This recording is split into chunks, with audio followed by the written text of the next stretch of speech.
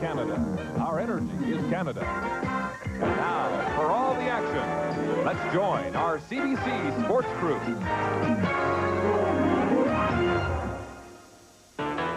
This afternoon from Olympic Stadium in Montreal, it's the Eastern Conference semifinal between the Ottawa Rough Riders and the Montreal Concordes. Riders won both regular season meetings against the Concordes. The ball was bouncing the right way for Ottawa on September 29th at Lansdowne Park as the Rough Rider defensive unit limited Montreal to just 160 yards. Tim McRae was the rider star in that first meeting, rushing for 67 yards and scoring two touchdowns in a 23-7 win. Three weeks later, here at Olympic Stadium, Ottawa won again, this time 30 to 7, and spot back Mike Hudson emerged as the star of the game, catching 10 passes for 102 yards and a touchdown. And that loss, the team's fifth in a row, resulted in a coaching change. Joe Galat relinquished his dual responsibility, stepping down as coach and turning the reins over to Gary Durchik in his second season as offensive line coach. The change had the desired effect as Montreal won its final two games. On October 27th, with Tony John scoring one touchdown on a seven-yard run and Alan Reed the other on a 60-yard scamper, Montreal clinched the playoff berth, beating Toronto 17 to 3. And then last week, they came from behind to beat Edmonton 23-20. On the winning touchdown drive late in the fourth quarter, Joe Barnes hit Mike McTague down the sideline and then fired the winning touchdown strike to Chuck McMahon in the end zone, giving Montreal that all-important home field advantage for today's semifinal against Ottawa everybody. A large crowd on a snowy afternoon here at Olympic Stadium for this one-game showdown. And Leo Cahill, does either side have an edge? I think both have an advantage, Don. I think Ottawa's advantage is psychologically they've won two games this year. As far as Montreal is concerned, they have the home field advantage. That's a good one. Ron, I think it's a toss-up going in. Well, Leo, I think it's very difficult to defeat a football team three times in a row in any given season. But I know this. Home field advantage, I think, is a little overrated in a one-game shot. But the thing that is important is the playing conditions on that field. And here with us today from Vancouver is Steve Armitage on the sidelines. He'll bring us up to date on those conditions. Thank you, Ronnie. If you ever had to make a case for artificial turf, this would have been the time to do it. It's been snowing in the Montreal area on and off for the past two days. This morning, they simply brought out the snow plows, cleared the snow away, and they're set to go. However, they can't get rid of the cold weather. It's just slightly above freezing. The wind will be a factor, and the field, despite all the work they've done on it, is still wet and slippery. Now let's meet the two teams that will play under these conditions in the CFL's Eastern semifinal. The Montreal Concordes and the Ottawa Rough Riders. Voici maintenant l'alignement partant en défensive pour les Rough Riders d'Ottawa. Introducing Ottawa Rough Riders starting defensive lineup. Le numéro 79, 79. Left end, à gauche, Jeff Roberts.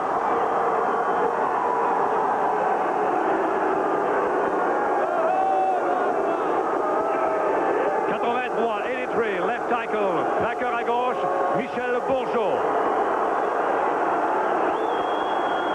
76, 76, right tackle, plaqueur à droite, Lloyd Lewis.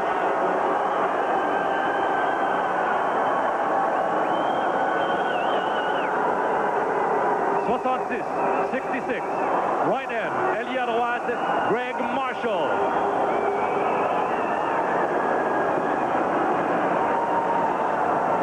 75, 75. Linebacker, secondaire.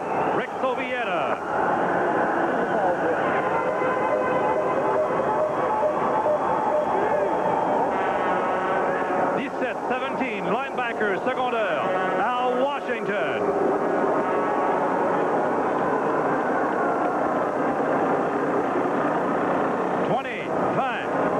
Linebacker, secondaire, Tom Towns.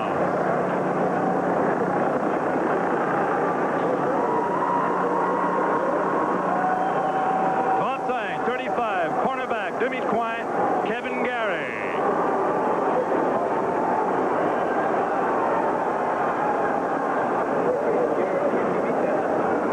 Trente-trois, 33, cornerback, demi-coin, Lamont Beecham.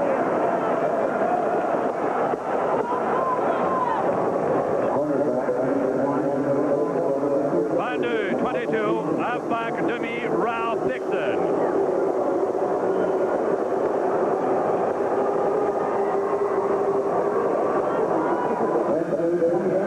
Outside, 25, halfback demi Ricky Barden.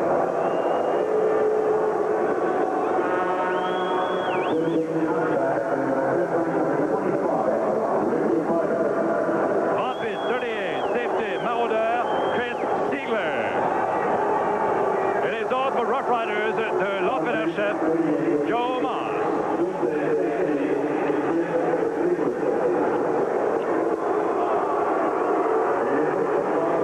Well, the Ottawa Rough Riders have been introduced here at Olympic Stadium in Montreal, and the reaction is one that certainly was predictable. A loud chorus of boos for the Ottawa Rough Riders. Now let's meet the Montreal Concorde. Starting offensive lineup. 58, 58. Centre, center, Glenn Keebo. 66, 66. Garde gauche, left guard, Lloyd Fairbanks.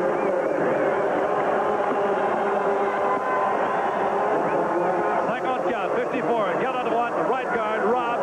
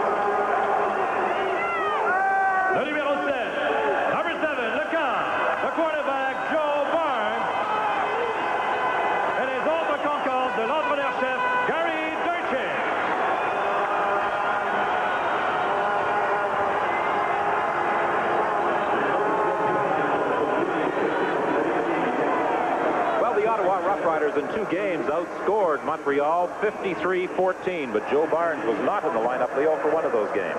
Well, there's no question in my mind that Joe Barnes is going to have to be the catalyst again today if Montreal is going to win. Now, Joe hasn't been too consistent this year at getting his team in the end zone. There's bad field conditions down there today. I think that he's got to use his two running backs. I think he's smart enough to do that. He can take the rush.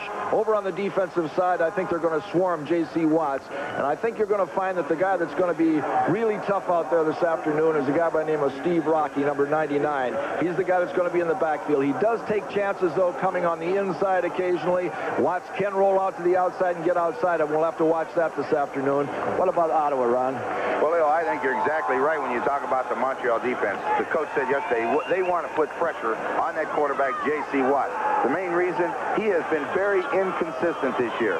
He's thrown 25 interceptions, and he's a lot like that kid that when he's good, he's very, very good, and when he's bad, he's awful. And he's had that type of season. He just hasn't had things going his way. So J.C.'s got to be consistent today for Ottawa to win, and they've got to get a great effort again from that front four on defense. They have 27 sacks as a unit, but their leader's been Lloyd Lewis, who's moved into into the defensive tackle spot because of Jeff Roberts coming to the defensive end position.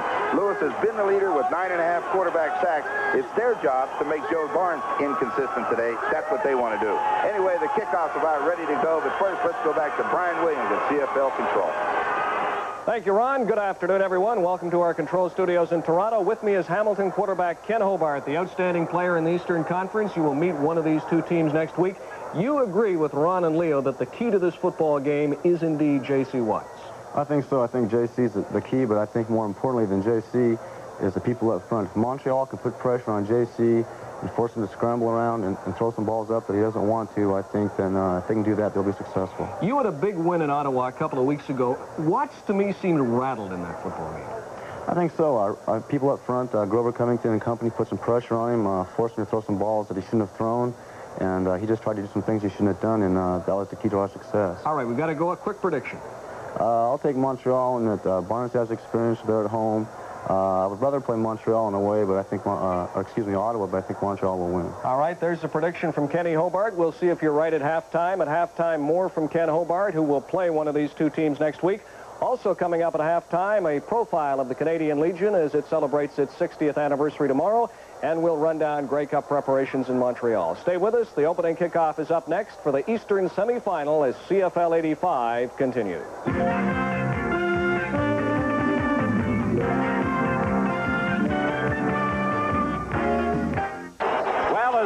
Pointed out at the start of the telecast, it's a cool afternoon here in Montreal. The temperature right at the freezing mark.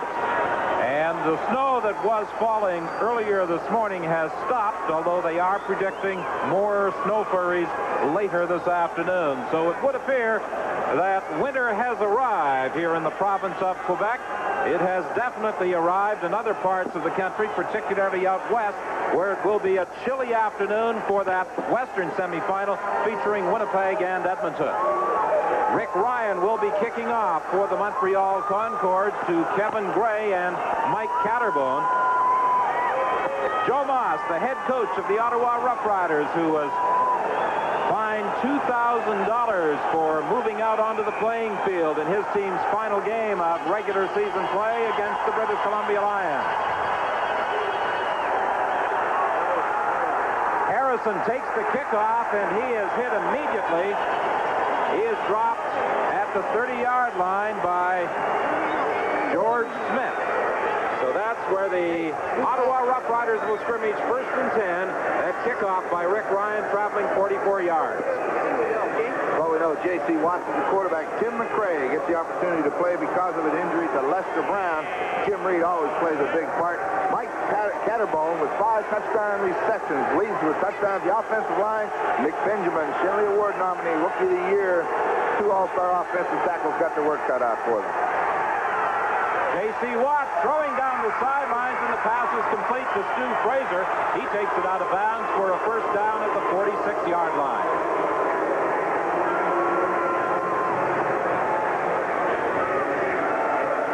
I was really impressed last week with this defensive line. As I said before, I think a guy that's going to be a catalyst in there will be Steve Raquet, but Brett Williams and Scott have played exceptionally well in there. George Smith is also playing well. The linebackers, they have the experience in there now.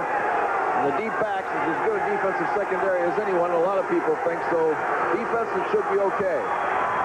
Pass is incomplete. It was intended for Baruch. And he was being covered by Vince Faison. It will be second and 10. You know, Don, an interesting thing, you were talking about Joe Moss being fined $2,000. They had poor boxes throughout the dressing room, and the players all threw in money. I hear that they come up with that $2,000. Would players have reacted the same way for you if you would have been fined in your days with the Argos? They'd have sealed the box. was.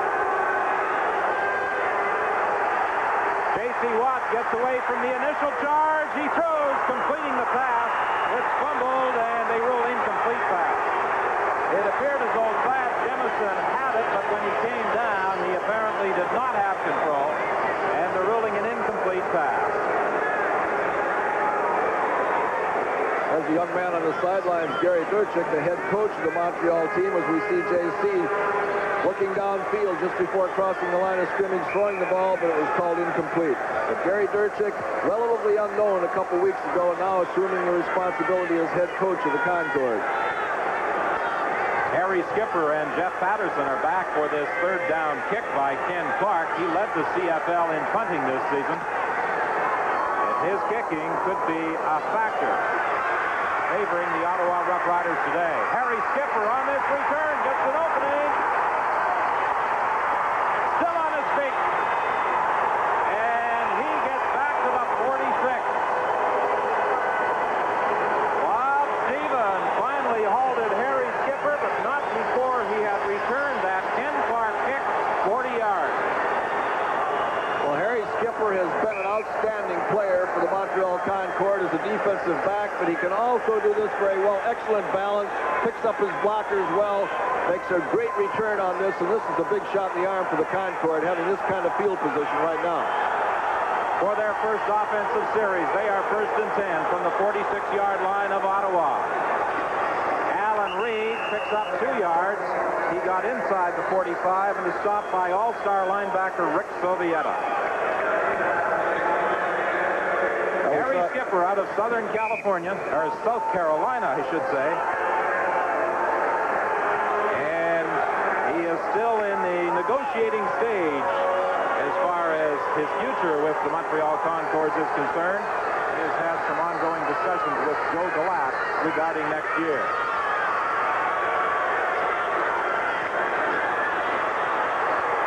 Barnes flips it out to Arakgi, but he'll be stopped short of the first down, tripped up by Tom Time.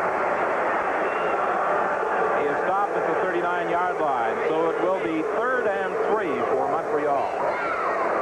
I really believe if they're going to be successful today, they've got to get Nick Arakgi into this offense. We've said this time and time again this year. Every team that's been successful against the Concorde has removed that man, and he has been no factor in a ball game. I think for Montreal to win, he has got to play a big role. Nick Arakgi is just too good a receiver to neglect. I think they're varying his patterns, too, around there, trying to get him straight downfield a lot. They were knocking him down, cutting him down, hitting him, and everything else. Now he's throwing those crossing patterns to him, and he can get open on these. When he catches that short pass, he can run away from people with his strength. Roy Kurtz with the field goal attempt, 47 yards, and it falls short, and it's brought out of the end zone. Ricky Barden on an excellent return. He could go all the way. Ricky Barden is finally tripped up, but not before he got to the 34-yard line of the Montreal Concordes. A great punt return by Harry Skipper, and a field goal return by Ricky Barden. And we've got a timeout here at Olympic Stadium. A 76-yard return by Ricky Barden. And the Ottawa Rough Riders now have great field position. You know, Don, in a game like this, it's those big plays that can make the difference. And turnabout's fair play here. Skipper had a long return, and now Ricky Barden another. We'll see if JC can do anything with this thing. Still scoreless in this first quarter. The pitch goes to Tim McRae. He was tripped up immediately. And that was Steve Raquet, the man you referred to in our pregame show, Leo, as a key figure in that Montreal defensive unit. Yeah, and I noticed Steve Raquet again that time. He, he takes the liberty of taking the inside a lot of times. He did that time also, made the play, but uh, that's dangerous because J.C. Watts can step outside of him.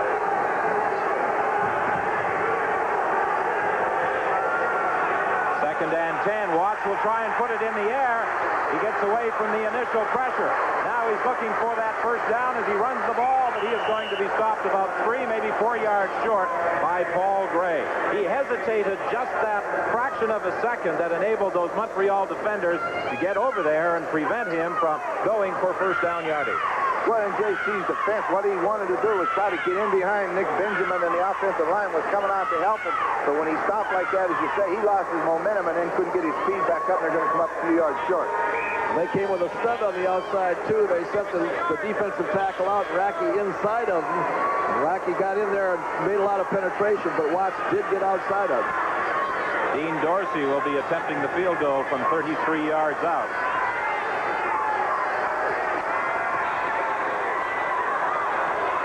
the kick is good, and the Ottawa Roughriders come up with the first scoring statistic of this Eastern Conference semifinal.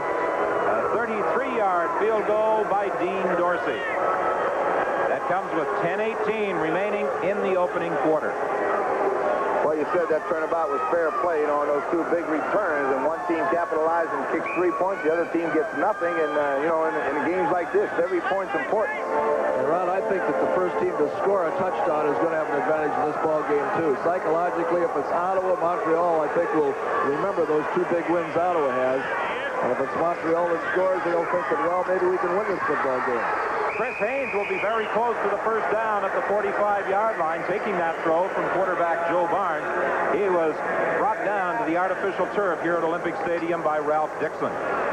That's another part of Montreal's game that they've finally got some work on. Get the ball to the wide receivers because that's going to help Arakgi inside. If you don't get the ball outside, you can knock Arakgi around inside. But that's a good way to start it. Let them know that we'll throw it out there. This would be a good opportunity, as you often say, Ron, for a little play action, second and inches. But Barnes gives to Johns, and he is stopped and driven back. I don't believe he got the first down.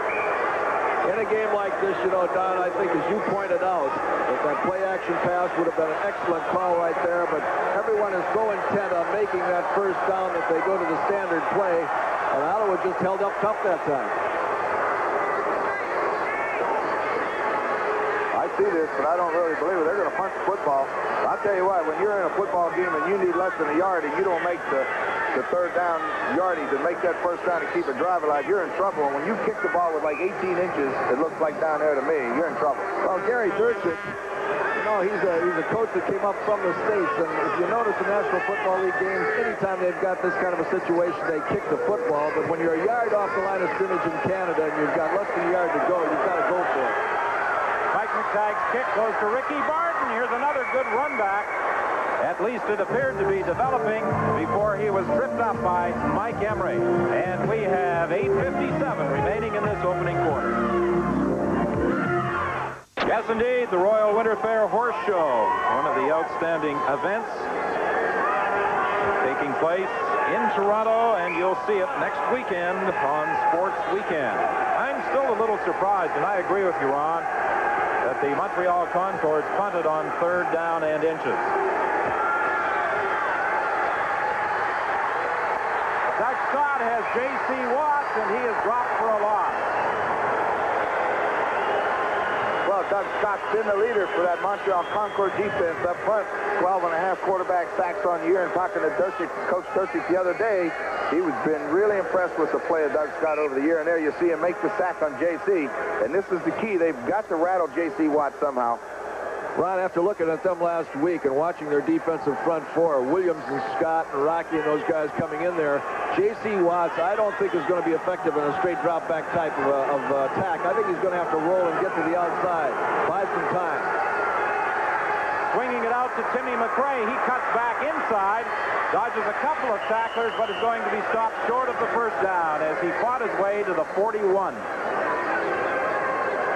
You know what I mean, Ron? On the, uh, as far as J.C. Watts is concerned, he tries to drop back. He's not a classic drop-back passing type guy. And I think that Montreal's inside defense on their front four is going to have the pressure to get in and get in his face on this. I think he's going to have to get the outside. If, if J.C. wants to drop back, he's got to take the quick drops and throw it quick. He's not, as you say, classic to go back, sit in the pocket and throw it. His strength's always been get outside and run with that football, and I know that that's what Joe Moss wants him to do. I think that's a good point that if he's going to drop back, to throw it in a hurry because if he takes any time, he's too short and they get in his face. Don't make fun of short people. They came very close to blocking that third down kick by Ken Clark. Harry Skipper picks it up on the sidelines, fumbles the football, but he was out of bounds at the 37-yard line. Ron Engelson had a grip on the Montreal Concorde punt return man, cornerback Harry Skipper. Well, that's a good place to kick the football. Always kick the football to the sidelines when the, you know, and the bigger the game, the more important it is. And get it over there where you can pin him in on the sideline. Don't give him room to roam. Rick Ryan was the man who was coming from the outside and attempted to block that third down punt by Ken Clark. First and 10. Concordes are at their own 38 and a half yard line. Inside fake by Barnes to the sidelines, and the pass is incomplete. It was intended for Mike McTague, and Dixon was covering. That wasn't too well timed. The execution was off a little because Joe Barnes gives a good play-action fake, which you need to do on first down, but McTague was open before Joe was ready to throw, and by the time he got the ball there, Dixon had recovered. That's good defense. That's why in practice is you've got to spend so much time with your passer and your pass receiver because when you're coming off of a bootleg fake like that, as you say, if the receiver breaks it too quickly, it's just ineffective. Penalty flag is down, and Barnes is being chased, and he'll be caught. Lloyd Lewis is the man who caught up with him. There was a flag at the line of scrimmage and also one in the Montreal backfield. It appeared as though Michel Bourgeau may have jumped offside. Well, it's too bad because that is an excellent effort by Lloyd Lewis to sack Joe Barnes for a big loss. But we'll see what the referees have to say. Ross Perrier from Scarborough, Ontario is the man in charge of this afternoon's officiating crew. And to the delight of the fans at Olympic Stadium, he marches off the yardage against Ottawa. Face mask, Ottawa number 76. First down. Well, mask as well, charged against Ottawa. But right now, let's join Steve Armitage on the sideline. Don, we mentioned at the beginning of the game that there had been a lot of snow on the field earlier this morning. They managed to get rid of most of it, but the field is still very slippery and wet. I've been talking to the players about any kind of special footwear that they're wearing, and they all say no, they're going with their normal turf shoes. Don? Thanks, Steve. And you won't have to worry about weather conditions next Sunday afternoon when we're under the dome in Vancouver for that Western Conference final. The BC Lions against either Winnipeg or Edmonton. They'll decide an opponent for Don Matthews' crew later today at Winnipeg Stadium. Well, talking to the Montreal coaches before the game, they said, especially on this kind of a field, that they're going to be using their running backs a lot. That puts a lot of emphasis on that inside running game on middle linebacker Al Washington, and he's done a good job all year and did a good job on that last play. He's the guy that's going to be stopping those tackle-to-tackle runs. Alan Reed, the ball carrier on that last play. Second and six. The pass complete to Arakgi. It'll be very close to a first down, depending on where they spot the ball. Rick Sowieta, an all-star linebacker, against the all-star Eastern Conference spot back, Nick Arakgi.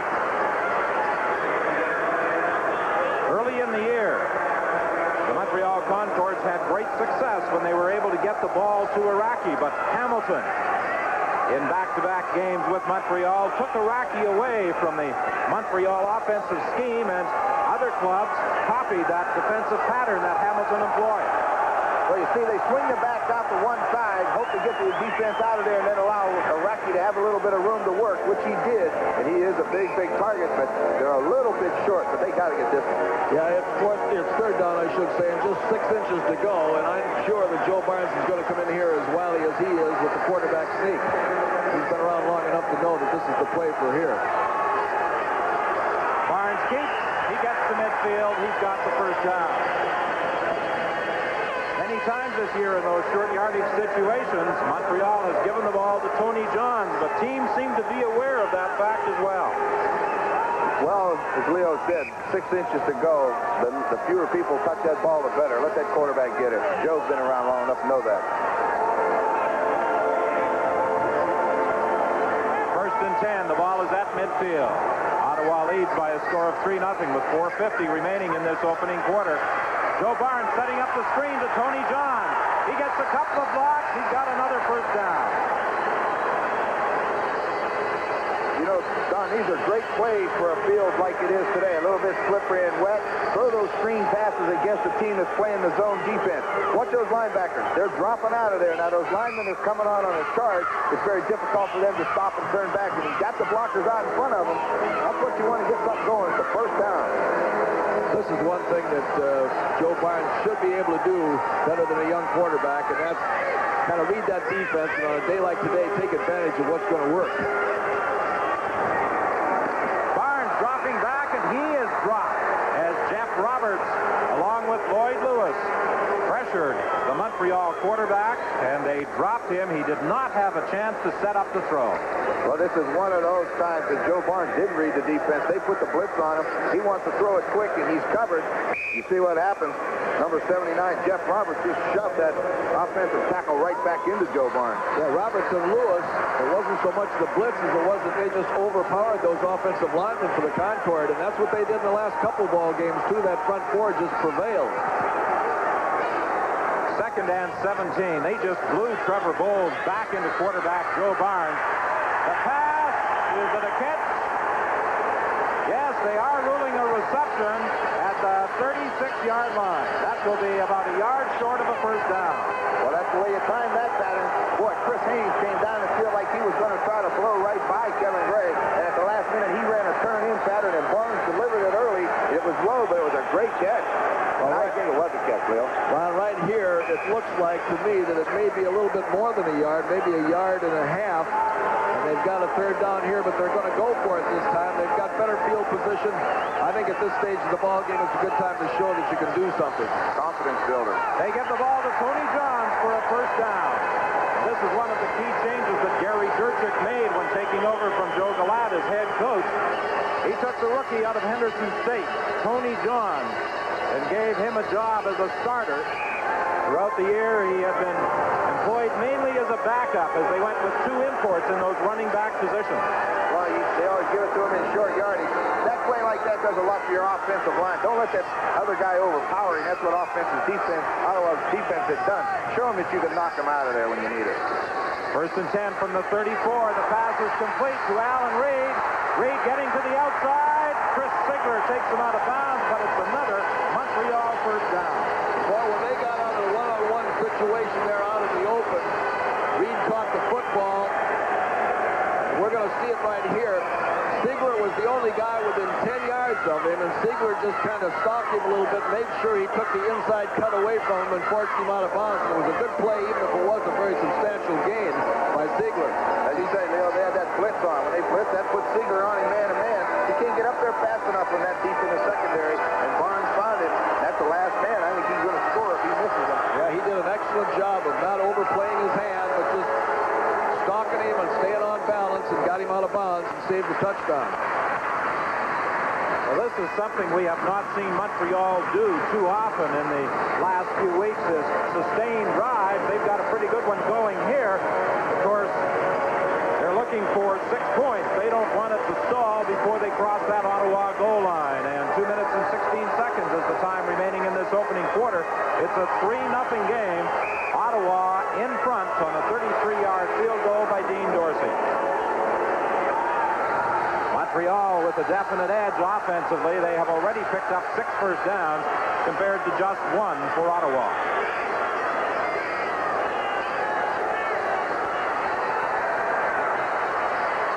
First down pass to the sideline intended for McTague, and Dixon was there to knock it away. Excellent job by Dixon. There you see Gary Durchik on the sidelines. He's a clone of a lot of the coaches that came from what they call the, the cradle of the coaches, Miami of Ohio. There's been a lot of excellent coaches come out of there. Ara Parseghian, Johnny Pont, Paul Dietzel, John McVay. You can go on and on, and this guy is just like them. He's a very studious type. He's the type of guy that can organize, and although you haven't heard of him, I think you may hear of him in the future. Second and 10 from the 17. Barnes dumps it off. Alan Reed slips at the 15-yard line as Dixon came up. Make sure he stayed down. So you get an example of the problem with the field. Watch Joe. Joe's going they're gonna he wants to throw quick, and you'll see coming from the left side, the defensive end is free.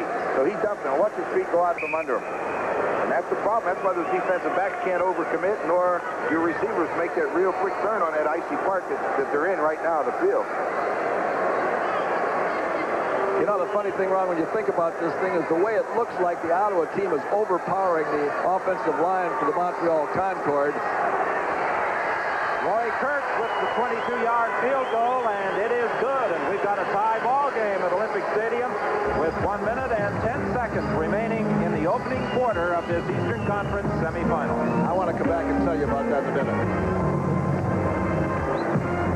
opening quarter, and the Ottawa Rough Riders employing a bit of strategy here.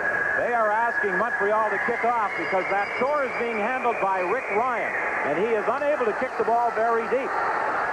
And Kevin Gray takes it on this kickoff return. Penalty flags go down as well. The ball fumbled and picked up by Montreal.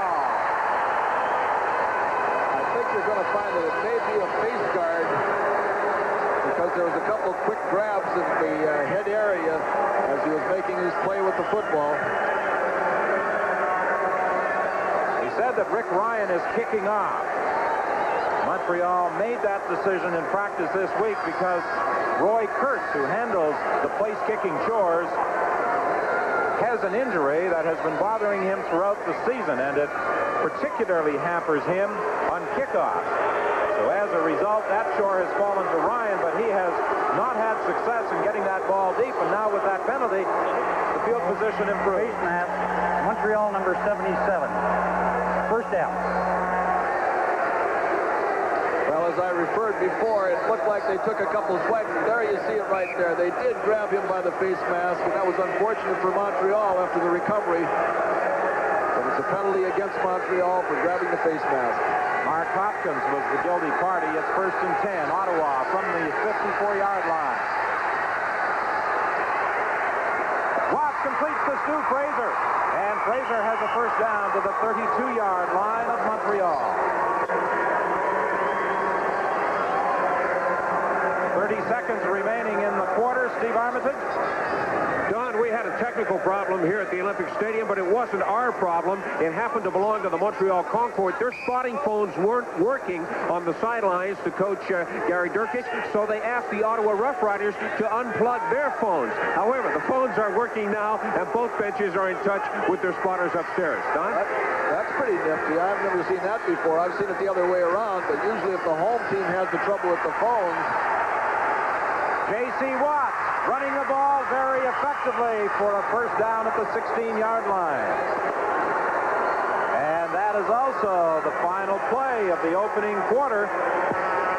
But with the score tied at three, the Ottawa Rough Riders are now in position to regain the lead once more. We'll be back after this. The Ottawa Rough Riders will be first and 10 to start this second quarter. And they have put together a pretty good drive, and Joe Moss has to be pleased with the way J.C. Watts is running that football. Well, that's what Joe said yesterday at the press conference. He's got to get consistency from J.C. in order for them to be successful no matter who they're playing. And in a game like today with a slippery field, I think the advantage goes to a guy like Watts who's got the good balance and can make those cuts on that wet field. Next Sunday, we'll be at Vancouver for that Western final, the BC Lions against either Winnipeg or Edmonton. And for all you football fans in the Vancouver area, we understand that about 7,500 tickets for that game are still available. They're available at all the usual ticket outlets on the West Coast. Stu Fraser was the intended receiver being covered by Harry Skipper fooled him a little bit. I think J.C. Watts expected a man-to-man -man coverage, and they ran a crossing pattern going to hit Fraser quick in the flat, and all of a sudden Harry Skipper come out of nowhere and just cut him down. That's what you got to do. Don't let the quarterback know what's going, so as soon as he figures you out, he's going to beat you. I think down here where you can use the three downs, that they ought to take advantage of a guy like Tim McCray and let him have the football instead of using that drop-back pass all the time. J.C. Watts is in trouble. Again, he gets away from Doug Scott and dumps it off. Touchdown, Stu Fraser.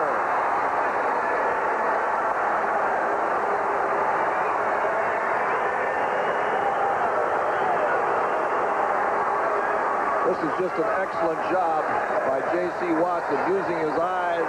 He runs a bootleg pattern. Nothing on that side. We're going to see him make the fake, come out on the bootleg pattern, looking to the right side.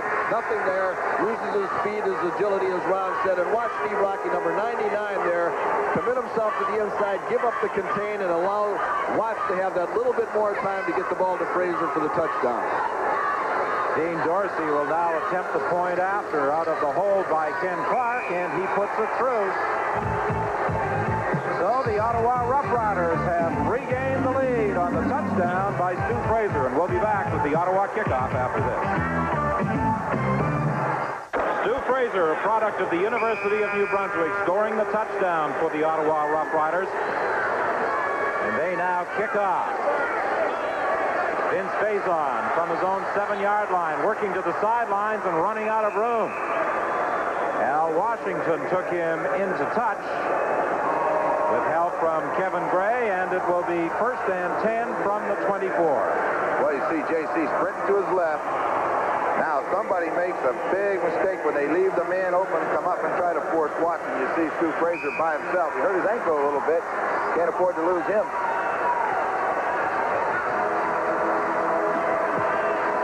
Last time these teams met at Olympic Stadium, slot back Mike Hudson was the star of the game.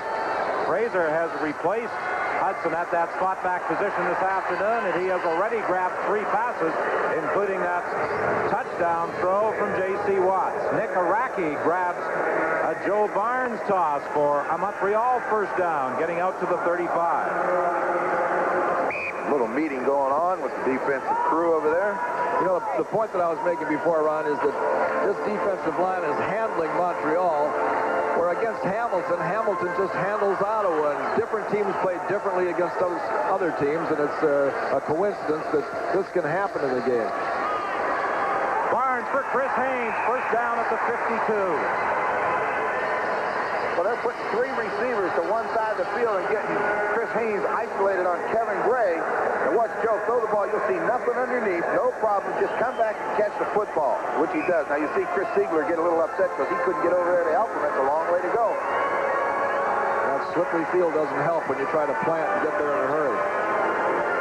Well, that's the third reception for Chris Haynes. Earlier in the year, there were games where they didn't even throw three passes in an entire game to the wide receiver. Joe Barnes comes back across the middle. He was looking for Tony Johns as his path to the outside had been blocked off by Jeff Roberts. Jeff Roberts did an excellent job as a defensive end. He just stayed at home. He says, you're not going to get outside me. He forced him to pull up. And in turn, now Barnes has to look for another receiver to throw to. But his primary receivers were where he was going, outside. Couldn't get there. Know, Ron, there was a time where Greg Marshall was the dominant factor in that front four, but today so far, Jeff Roberts and Lloyd Lewis have been overpowering. Lewis has been a great addition this year to that Ottawa front four. He has led the team in sacks.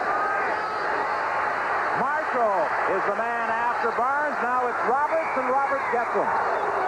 He was flushed out of there initially by Greg Marshall, and then chased down by Jeff Roberts. The name of the game in Canadian football is speed, and you can get a big defensive end as big and strong as that guy is to run down quarterbacks from the inside out like he did that time. You've got yourself a pretty good defense. Well, Roberts does have the size, 6'3", 235 pounds. He's out of Tulane, and he certainly showed a burst of speed in chasing down Joe Barnes that time.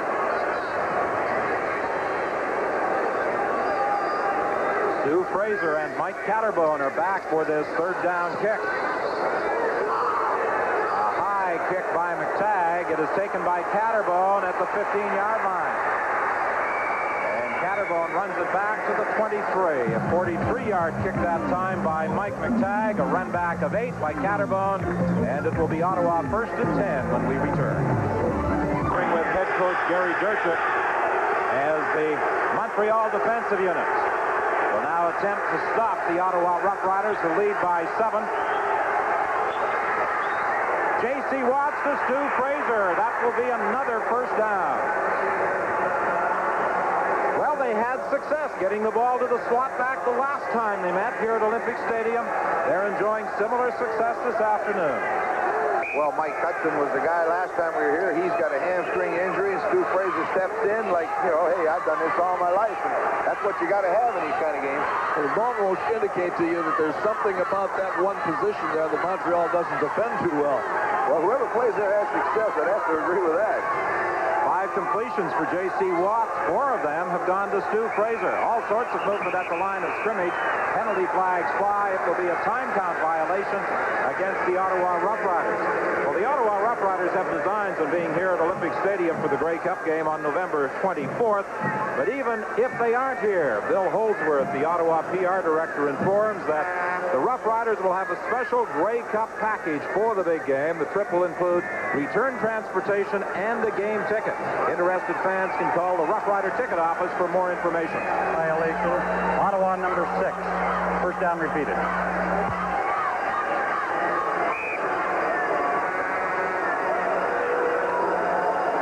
First and 15 for Ottawa. The ball is at the 32.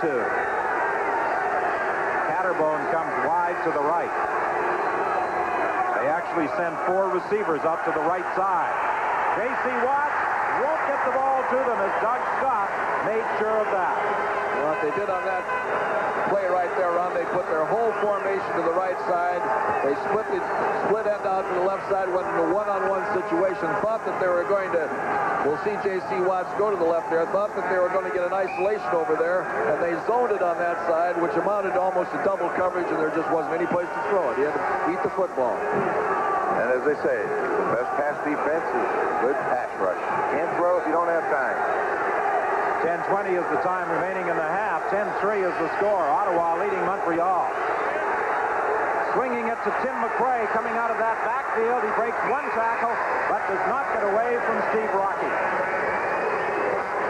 Tim McRae in that running back position, replacing Lester Brown, who had played very well for Ottawa in the last few games, but came down with an injury in the final outing of the season against the BC Lions. You know, with Tim McRae and Lester Brown in an offensive backfield would be something to see, but you know what? How do you take Jim Reed out of there? He does everything they ask of him. He doesn't get much credit, but everybody knows this. If, if he's getting time to throw and they're making yards, he's blocking. Especially in this emphasis game on the throwing game, you got to have that fullback that can block. Ken Clark is punting. It's blocked. The ball is picked up by Harry Skipper, and Harry Skipper is still on his feet, but going nowhere at the 52-yard line. And they're going to get number 79, Jeff Roberts. Just took a swing at Chuck McMahon, and the referee thought we're going to get 15 more yards on top of this. It may have been Mark Hopkins who blocked that punt. When we take a look at this, it was a miracle how the ball got downfield because the penetration was right in on Clark. He gets the ball away. The defender coming in there blocked the ball, but it did get downfield. I don't know if we'll see the penalty infraction, but I'll tell you what, it is amazing the ball in the downfield. You still have to give yards on it once it crosses that line of scrimmage. And that 15 yards unnecessary roughness doesn't help either. Position for Montreal. First and 10. They are at the 37. They trail by seven.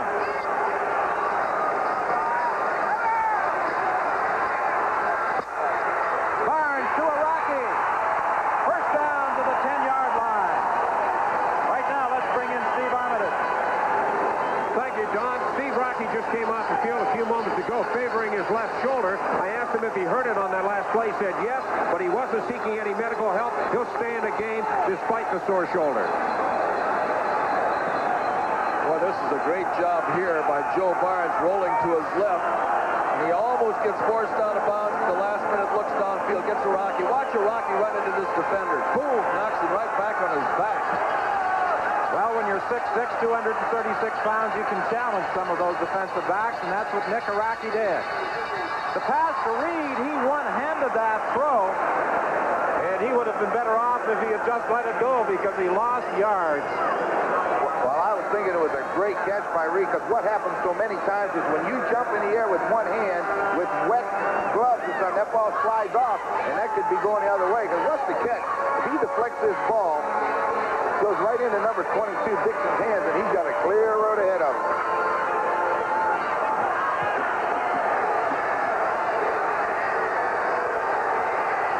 Second and 11. Barnes into the end zone. Oh, it was intended for McTague. Boy, McTague got all by himself in the end zone. No one there. It was a catchable football. In the right of the screen, I don't think we'll see it, but boy, Nick Arakgi was having, he's having a heck of an argument with a couple of people there because they just grabbed him and threw him on the ground at the goal line, and then McTague came across and turned upfield and got open. He couldn't hold on to the ball. But Arakgi was not too happy when he got up off the ground. Well, the Montreal Concordes aren't too happy as a team. They thought they were going to culminate this drive by putting that ball into the end zone, but that Joe Barnes throw intended for McTague, and the receiver could not hang on, so Kurtz with the field goal attempt, it is good. And with 7.34 remaining in this first half, it's now 10-6. The Ottawa Rough Riders leading Montreal in the Eastern Conference semifinals. Well, Gary Durchik yesterday at the press conference, very friendly, all dressed in a suit and tie. I was little surprised. We don't see coaches like that too often. He's following in the footsteps of the man he replaced, Joe Galat, who was always nappily attired, not only at the press conferences, but also on the sidelines. Mike McTague replacing Ryan for that kickoff, and Catterbone returned it to the 45-yard line. You know, one thing, Don, is Montreal better hope they don't have to kick off too many times because they're not getting that ball down the field. Look at this. It's field position at the 45-yard line where you already got great field position to start. I think Ottawa is going to persist in having Montreal kick off at every opportunity following field goals and touchdowns. I hope not too many touchdowns will be scored, of course. This pass is intercepted by Gray. To the 40-yard line. Well, I've been impressed with Paul Gray all year, Lil. He's always in the right place at the right time. Not only that, but he made an excellent job with that interception, too. And I don't think J.C. Watts ever saw him. You see number 42 go back and just reach his left hand over there, hook it in, and then does a pretty good job of running with the football. But takes a great hit from number 65. Right there, Roger Catlin didn't even slow him down. I tell you, Paul Gray is, is an excellent linebacker, and he sits off the line deep, and that helped him on that particular play. First and 10 from the 40-yard line. Way over the head of Chris Haynes. Right there, we saw an example of what we talked about earlier. Haynes is going down the field. He knows he's going to go down and break to the sideline, and there was just no way that Lamont Meacham could make the cut and get back fast enough. Barnes just threw it over his head. And Joe Barnes, being the veteran quarterback that he is, has got to take advantage of these opportunities when they do come and get more points on the board. Now, they've got a couple field goals, but Joe's got to get him in the end zone. Watts had 25 passes intercepted this season. Joe Barnes had 23 intercepted. They were 1-2 in that category. Alan Reed takes the swing pass, gets a block. He's got a burst of speed for a first down. When he accelerates, he moves. What was impressive about that. It wasn't a big deal as far as a little dump off to the back goes, but he took one look upfield and saw McTague, and he also saw Arakgi. Now watch when he catches the ball. He sees the two red jerseys, and he just says, I'm going to split them. Good job by Arakgi shielding one, and bang, the acceleration is there, and he got the big gain in the first down. And as Leo said, they've got to take advantage of this and put it in the end zone. From the 25, it's first and 10. The draw play with Tony Johns. He picks up about three yards before being stopped.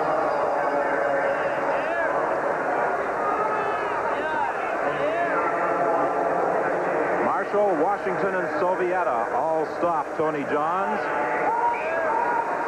Well, we've seen Barnes throw a couple balls off the money, but in defense of him, he did throw the ball well enough into the end zone to Mike McTague to have one touchdown.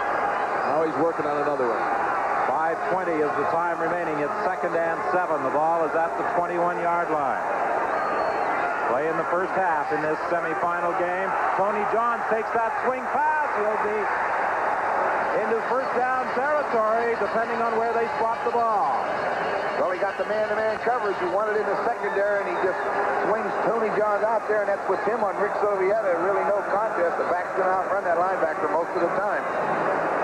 They're going to measure this one as the chain is brought out, and they have to go all the way across the field. But offensively, this is a much improved Montreal football team than the one we saw in late September and early October. Not much doubt about it, is there?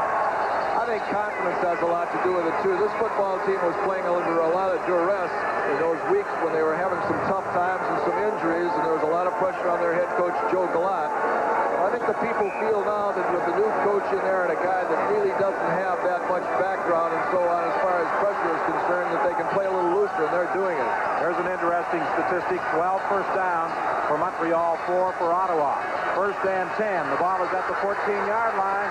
Barnes to the sidelines. Haynes makes the catch. Another first down. Can tell one thing. Chris Haynes wasn't used a lot early in the year, but he knows what to do as a receiver. He had a linebacker between him and Joe Barnes, and he just came back to the sidelines, got away from him, and Barnes hit him, turned it into a big play. Well, right now, Ron, they're down there at about the three-yard line. We'll see Joe Barnes again roll out here. He gets outside and contains just enough to get the ball off. As you say, Chris Haynes worked back to it. Excellent job. But right here, they should be using their running attack now. They've got three tries at the goal line. First and goal from the three. They go to the ground game with Alan Reed. He stopped right at the line of scrimmage. Boy, that Ottawa defense is tough. They're not going to run too far as long as they line up and take a shot at Lloyd Lewis at his defensive tackle position. I think one more thing, Don, too, is that when you line up with just one back in the backfield without any deception at all and then run with the football, you're not giving your offense the credit that they deserve. I think you got to have two guys in the backfield. If one is the lead blocker or one is the guy that you're going to fake to in order to have effective running down there. Second and goal from the three. The pitch to Tony Johns. He'll get in. That looks a little bit more like it. They've got the three backs in the backfield. They use two of them as personal interference. They look like pulling guards, leading them uh, back to the outside, but they're tossed to the outside for the touchdown. Well, what they do is they steal the inside, kick out the outside, and Tony John just takes the team that they create. He went in very easy. You can say, Leo, those backs went out there like pulling guards. Let's take a look at it. All right, the toss will come back to John. You'll see the personal interference. Allen Reed inside, McMahon blocks outside, and bang, they're into the end zone, and McMahon's already standing there waiting on it. He could have gone a awful long way. Roy Kurtz will now attempt the point after to give Montreal the lead for the first time in the game.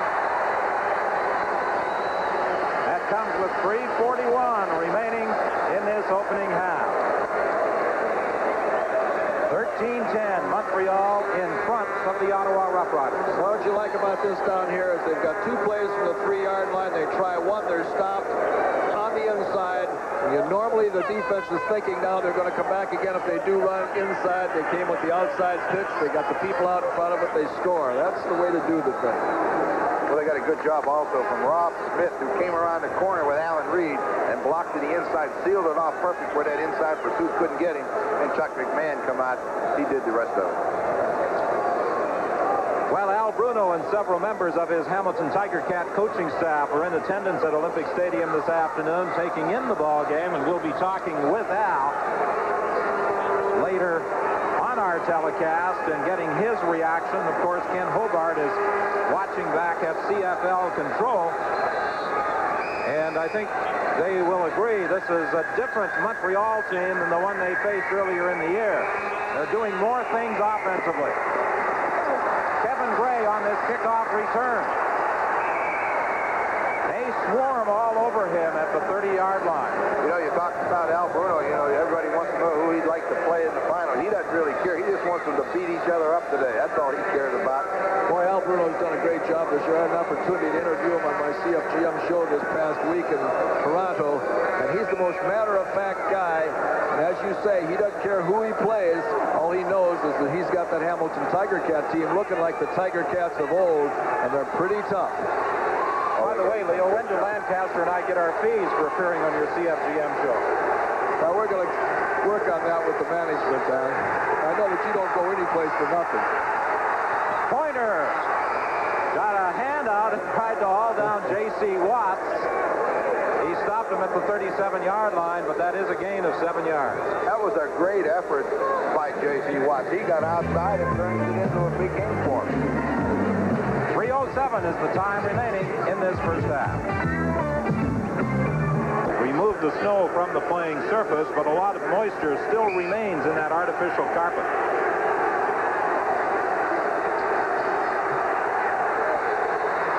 Mark Baruch takes that pass from J.C. Watts and will be very close to the first down at the 40-yard line.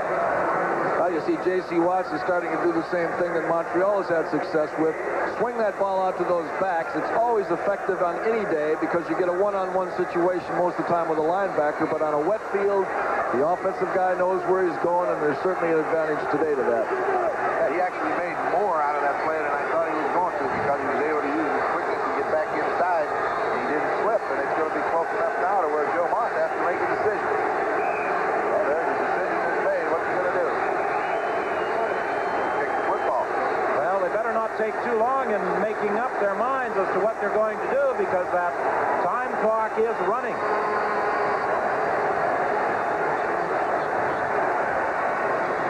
For some reason, they reset it. It was down to 13 seconds. Now it's back to 20. Well, it's important that Ottawa gets in there and gets themselves established because they've already had one blocked.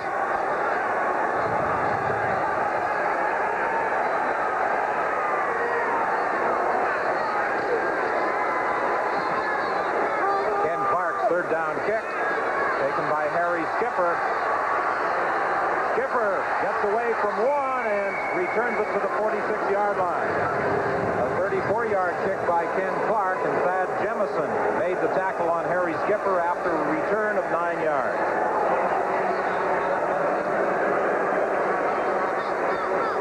At halftime, we'll have the statistical story as well as highlights of this first half.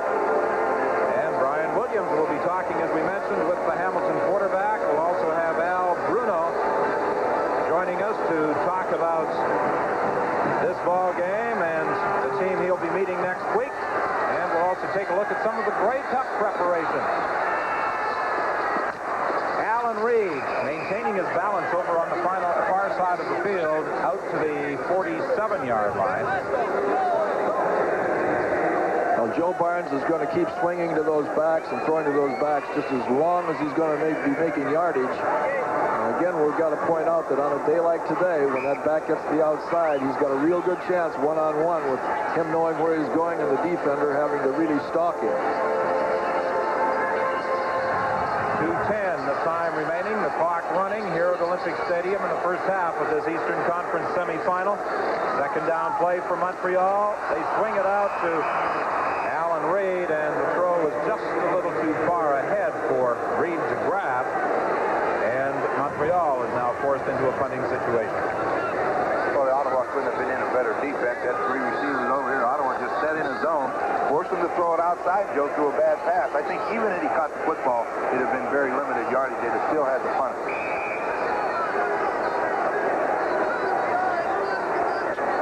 Tag has punted just twice this afternoon. And the Montreal Concordes aren't disappointed in that at all. There were times the punter has to go into the game, the more success they're having moving the ball, obviously. Stu Fraser on the attempted return, stopped at the 33-yard line by Mark Hopkins. That kick traveled just 32 yards.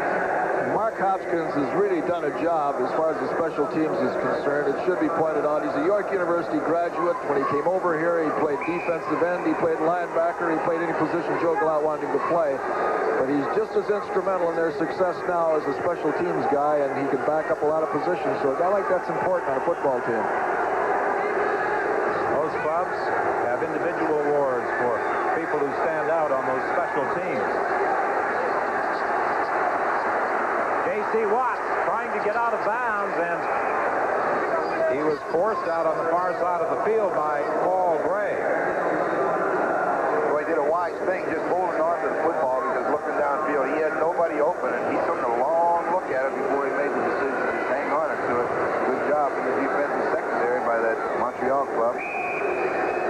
Can go deep occasionally on a field like this, especially with that real wide speed, but uh, I think as Joe Barnes is doing, keep it short, swing to the backs, and throw the short passes, and you can sustain the football a lot easier and use your running attack on a day like today. Second and six. George Smith gets some help, and the ball is fumbled. Who's got it? Still loose. and I believe Ottawa finally came up up with that ball, but J.C. Watts was dropped. George Smith made the initial contact, and then two other Montreal linemen, including Doug Scott, hit the Ottawa quarterback. And the Rough Riders were fortunate to come up with that ball way back at their own 10-yard line. Boy, this is going to be interesting because it changes hands here about 14 times. I think it comes out of one guy's hands, out of another, comes out of the pile, down the field. A couple more guys get at it. I don't even want to name who they are, but finally Ottawa has the good luck, I should say, of probably recovering that ball, but they're kicking from their end zone, and on a day like this, it looks like Montreal might be coming after it. The number of players that touch that football, Leo, you wouldn't have time to identify them all. Good kick by Clark out of the end zone. Patterson has to go back to his own 47-yard line. And he is stopped at the 53. There's also a penalty flag on the play. Boy, Don, as you pointed out, an excellent kick by Clark, and he's kept him in more ball games this year. He's got a 47-yard average, leading the league. But when you can kick the ball on a wet field, slippery field, out of your end zone with that kind of authority on it, you're doing a job. And there's a penalty against Montreal. Holding. Montreal number 72. First down. Oh, the other thing, Don, it, it always impresses me about kickers. When you're backed up in your own end and kicking out of that end zone, that's when you have to hit the good ones. Not when you're at midfield or kicking into the end zone. When you have to have it. Ken Clark delivered one right when the time was there. A 52-yard kick. And with the holding call against Lamont Jeffers, the Montreal Concordes, who had anticipated excellent field position for this offensive series with just one minute remaining, are backed up into their own zone. Deep throw for Chris Haynes. He makes the catch at the 35. There's also a penalty flag. Well, this is going to be interesting because I think they both had equal rights on that football coming out, being up in the air like it was, but uh, we're going to see whether the official calls it. Yeah, he did call it on the Ottawa Rough Riders, but actually I thought they both had an opportunity to go after that ball. Ottawa number 35. Gray was the man who was First pushing down. with Chris Go Haynes. Proctor. And he's done a good job of coming back to that football on a number of Joe Barnes throws today. I think we see it here, both of these guys are going to be doing a little pushing. A guy like Haynes had his eyes on the ball looking back. Kevin Gray was looking at the, the receiver, and then Haynes tried to come back, and that's going to force Gray to run into him. I think it was a good call, because well, it doesn't matter. He caught the ball anyway, but that's a good receiver to come back. He's got to find that football. Same as the defender. He just didn't do it. Haynes has now made five catches for 90 yards. 53 seconds remaining in the half. First down at the 35-yard line. Look at that. He's coming right back to the swing out of the backfield. He's got a good thing going for him, Don. Tony John takes it to the 25-yard line. He was forced out of bounds by Chris Sigler. Well, I'll tell you, Joe saw that blitz coming up inside. They blitzed those linebackers, and that forces, again, Chris Ziegler to come all the way to the safety position and cover uh, Reed, and he can't do it. 47 seconds remaining in the half. You know, I've been critical of Joe Barnes throughout the year because although he's amassed a lot of statistics, he certainly hasn't got his teams in the end zone enough times.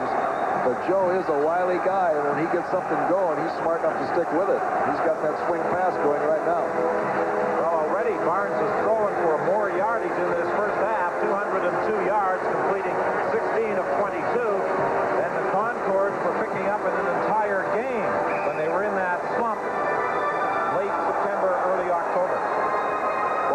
said a little earlier. They're doing a few more things offensively, and when you're doing things offensively, more things can happen for you. And today they are. The measurement reveals that at second and inches, Barnes will keep. He'll just get it if, in fact, he does have a first down. Ottawa defensively stacked things up pretty good in the middle, but Barnes does have a first down.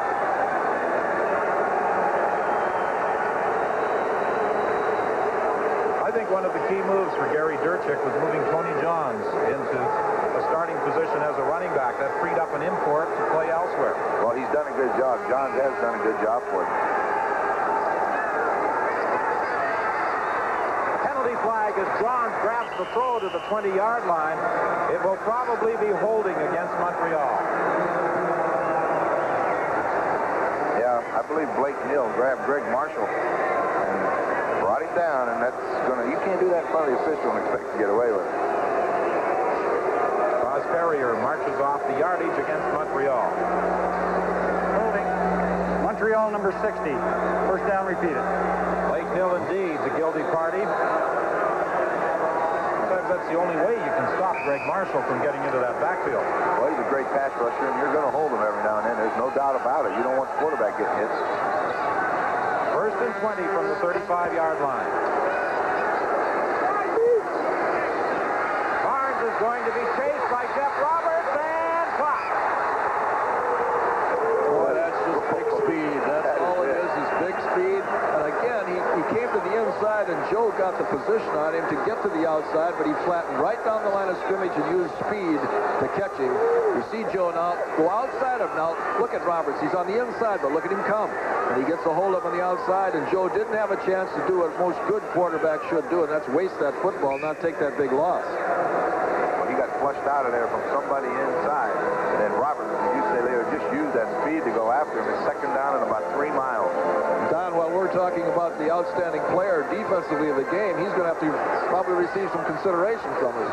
Well, he does have that great speed, and that has certainly taken Montreal out of field goal range, although Tony Johns might put them right back in it as he rambles to the 35-yard line with just seven seconds remaining in this first half. Well, I think it's worth a chance. Seven seconds last play. You got a chance to kick it through there. It's going to be, oh, about a 42, 43 yarder, but I think you got to try it. Boy, this would be a sensational place for a fake field goal pass. Nobody in the world would be expecting it right here. Seven seconds left. The first field goal attempt by Roy Kurtz was from 42 yards out, and it fell short. This will be from 43. Ottawa long time. The Ottawa Rough Riders have called the timeout. We mentioned that Roy Kurtz has not been handling the kickoff scores for Montreal because of the leg problem. And Gary Durchik was us yesterday that this is something that Kurtz has been forced to live with since training camp. He and Bernie Ruoff, prior to going to training camp, Ruoff, the Hamilton Tiger Cat place kicker, were getting ready for training camp when Kurtz injured his leg. And throughout the season, he has been kicking with that problem. Well, they've had time right now, Ron, to think about it a little bit, and I think you're going to see that the Ottawa defense are going to be a little bit cautious about playing that uh, that fake field goal pass. Jerry Dattilio is in there holding, and Jerry has been known from time to time to do things like that. Well, we'll take a look. I think they were lined up in a in a free bend, like you know they're going to keep those defensive backs back there. Make them kick it as a field goal. Don't let them take the opportunity to score the touchdown. But get those guys inside to go in there hard with those hands up because when you have a bad leg, you don't always get the height you need on it, and they block it. That's right.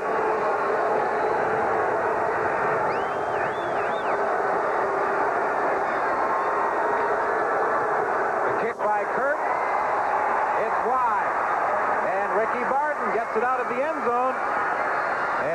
returns it to the 15-yard line. And that will be the final play of the first half here in this Eastern Conference semifinal at Olympic Stadium with the Montreal Concordes heading to the dressing room leading by three. Now, stay tuned for our halftime show. doing a great job, and uh, it's just confidence all over the group uh, playing good ball. Okay, Al, good luck to you. Thanks a lot. Dean Dorsey kicked off to open the second half. Vince Faison is going to bring it back to only about the 20-yard line. And Montreal have first 10 somewhere around the 25. It's hard to see those numbers down there, Don. Yes, indeed. That snowfall earlier today, and then the heavy equipment moving out onto the playing field to remove that slush has obliterated some of the yardage markings here at Olympic Stadium. Fall between the 25 and the 30-yard line. Let's make it the 27 and a half for this first down play. Joe Barnes sends three receivers out to the right, then gives the ball straight ahead to Tony Johns, who crosses the 30 to the 32, a pickup of about four. Right now, let's go down and join Steve Armitage on the sidelines. Don, I talked to Chris Haynes just before he went into the ball game. He is wearing a special pair of gloves. They are scuba gloves.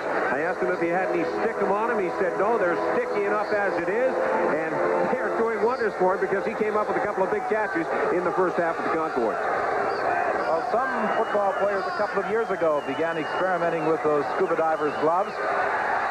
And this is Jeff Patterson, who is not wearing gloves of any kind, but he hangs on to the football for a first down. But there's a penalty flag on the play.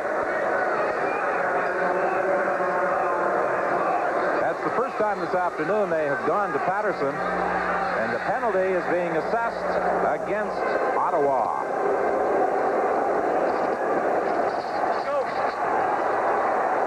A rough play call takes it to the 52-yard line. Let's listen.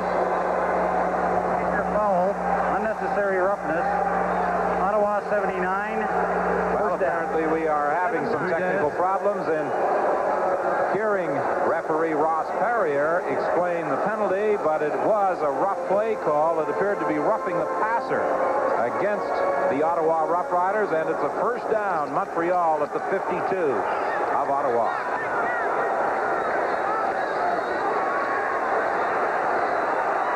Barnes decides to run it himself, and he got to the 50-yard line for a gain of just two yards. And again, the man in pursuit was Jeff Roberts.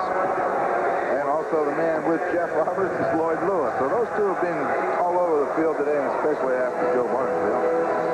And Joe Barnes, you know, for an experienced quarterback, he takes more losses back there than anybody I've ever seen. That time he just about made it to the line of scrimmage a little bit past there, but uh, I don't know if it's because he's lost some of his mobility or just exactly what it is, but it seems to me he gets caught an awful lot. Second and eight. Barnes to Tony Johns, and Johns will be stopped three yards short of the first down by middle linebacker Al Washington. As Barnes comes off this field, he's holding his hand. It looks to me like he hurt a shoulder or a hand. We'll see the next time he comes on the field what effect this has on him. Barnes was limping noticeably at practice on Thursday. He has been bothered for the past couple of weeks by an ankle injury, but apparently they are able to tape it to permit Barnes to play. Well, one thing that nobody ever said about Barnes, and that was that he wasn't tough. He will play hurt or do what he has to do. Mike McTague's third down kick bounces to Catterbone. He had a little trouble fielding it and wisely decided simply to drop on that ball rather than risk fumbling it and turning it over to the Montreal Concordes. It will be first and 10 Ottawa when we return.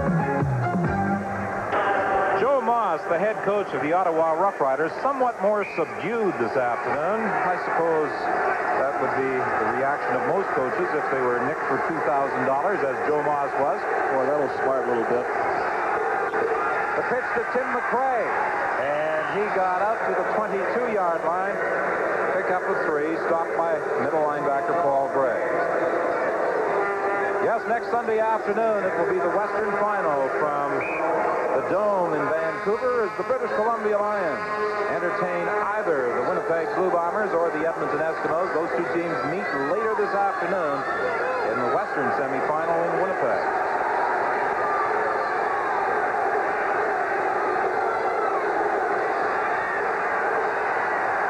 Luck gets to the outside, throws incomplete. It is intercepted by Harry Skipper. We're I think we're going to get a pass interference call, don't believe it if we do.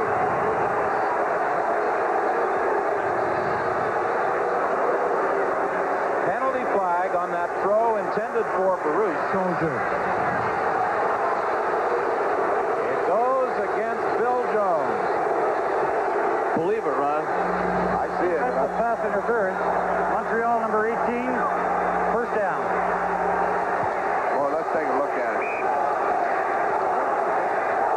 Well, it wasn't Phil Jones. They uh, called Vince Faison on the interference. Faison was not anywhere near Mark Baruch, so maybe the interference took place somewhere else on the field. I hope so, but I didn't like it that spot. J.C. Watts faked the throw, then pulled it down, and will be very close to another Ottawa first down. Again, let's bring in Steve Armitage. Don, I talked to Joe Barnes just a few moments ago. He was shaken up on that last play, but the trainer says there's nothing wrong with him, and Joe says, I'm going back in. This is too important a game to sit on the bench. Well, as as Leo said, you have to admire the toughness of this veteran quarterback of the Montreal Concordes. He's been hobbling all week with that ankle problem. He has taken some shots since joining Montreal from the Calgary Stampeders. In a lot of ways, it really hasn't been Joe Barnes year. It's been a tough year on him, but he's, he's a good guy, and he'll come back. First down, Ottawa. J.C. Watts dropping straight back, still looking. Finally throws deep. This one is intercepted by, Air, by Phil Jones. And there's also a penalty flag, a late flag, back at the line of scrimmage. An altercation taking place after the interception. Don, that was just an unbelievable throw. I can't believe he threw the football, but this hits, hits, as you see, there's no one near the ball. It has to be a great interception. There's no Ottawa Rough Riders there, but then Steve Raquet really drilled Jim Reed, and that's what this penalty's for. Well, look at Joe Moss. Look at his reaction on the sidelines. I think that he's got to be talking to his quarterback, and he is. J.C. after the interception. First down. I know what he's telling him. You should have never thrown that ball, JC. There was nobody in that area, nobody open. Well, Steve Raquet, as you said, Ron, was the man charged with unnecessary roughness following that Phil Jones interception. Montreal has the ball, but they are back at their own 15-yard line. Alan Reed ran into one of his own men. The ball popped loose, and Ottawa is indicating that they have recovered.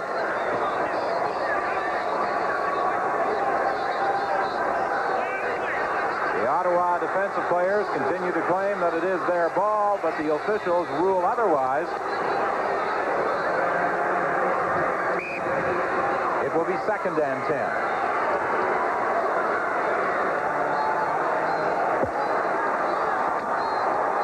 Thirteen ten the score, 9.43 the time remaining in the third quarter. Montreal leading in this Eastern semifinal. The winner moving on to the Eastern Championship next week at Ivor Wynne Stadium against the Ticats. The pass is intercepted. Dixon makes the interception over on the far side of the field. There's also a penalty flag on the play. A penalty against Montreal. So the Ottawa Rough Riders take over deep in Montreal territory at the 20-yard line. There's a reaction from another coach, Gary Durchik, on the sidelines right there. That's frustrating because actually Joe just peeled off on that bootleg and overthrew the receiver right into the hands of the defender right there. And it was just a, at that part of the field, it's a sad thing to happen. I was watching Joe Moss on the other side of the field on that last call. I'll tell you one thing, one more close call and Joe might say, what the hell, I'm going to blow another 2,000.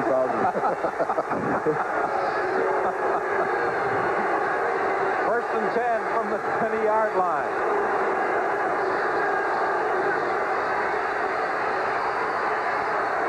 Oh. A poorly thrown ball by J.C. Watts as he intended that pass for Stu Fraser, but it bounced a good five yards in front of him. I'll cover for JC here. He took a pretty good hit from Doug Scott just as he starts to release the football. Stu Fraser was open and around the five-yard line, but Doug Scott hit him pretty good, and the ball, as you say, was at least five yards short. How'd you like to come on the sidelines and face that guy after throwing a couple of short passes? I'd go over this and sorry, coach. and I'd walk a long way away from him, too. Bob Shaw grabbed you a couple times out in Saskatchewan.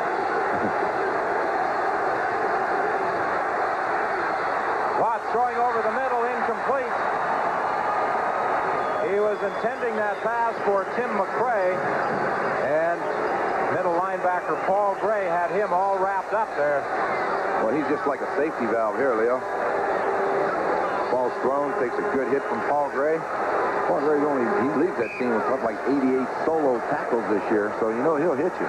Well, when you get down to that part of the field, as, as good a runner as J.C. Watts is, and as much as he can threaten the line of scrimmage with his run, he ought to roll out and take the opportunity to run or pass instead of getting back there and with indecision on his throws. Dean Dorsey's field goal attempt ties the game at 13. So with 8.27 remaining in this third quarter, we've got a tie ball game in this Eastern Conference semifinal. Ottawa 13, Montreal 13.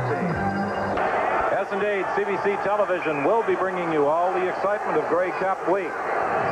Beginning with the Schenley Awards, the Grey Cup Parade, and all the associated activities, the pregame show and the game itself. The pass is completed over the middle to Mike McTague for a gain of nine.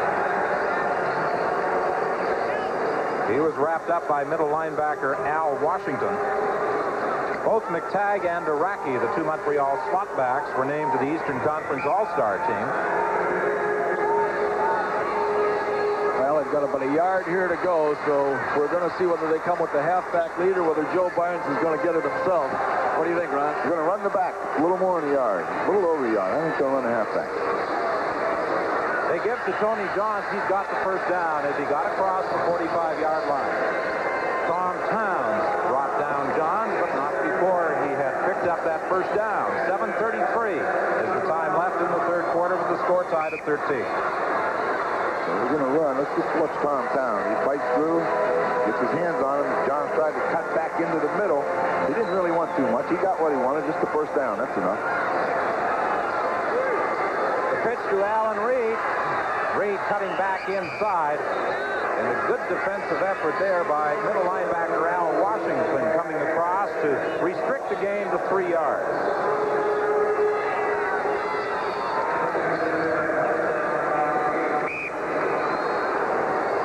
Don, you look at the score, 13 all, and I think it's been that kind of game. I don't think either team has definitely showed that they're in control of it yet. It seems to be seesawing back and forth, and who can put it in the end zone.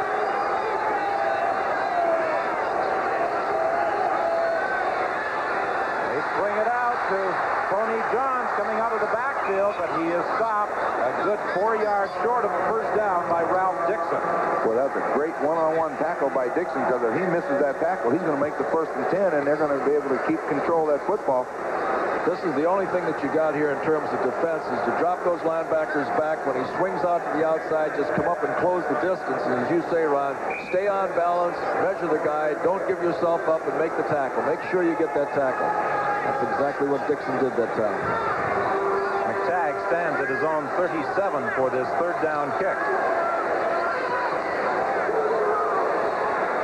Stu Fraser takes it at his 27-yard line and returns it to the 34 where he is stopped by Vince Faison. That kick by McTague traveled just 31 yards. Fraser returned it 7 yards. I think this is going to be a very, very telltale sequence of downs right here because in the last two sequence of downs, J.C. Watts looked like he was showing the effects of being a little bit tight after throwing that interception. And I think right now he's got to get it back on track or he's going to be in trouble. Got to make some first down. They'll put a drive together. He does that, they'll get that offense on track.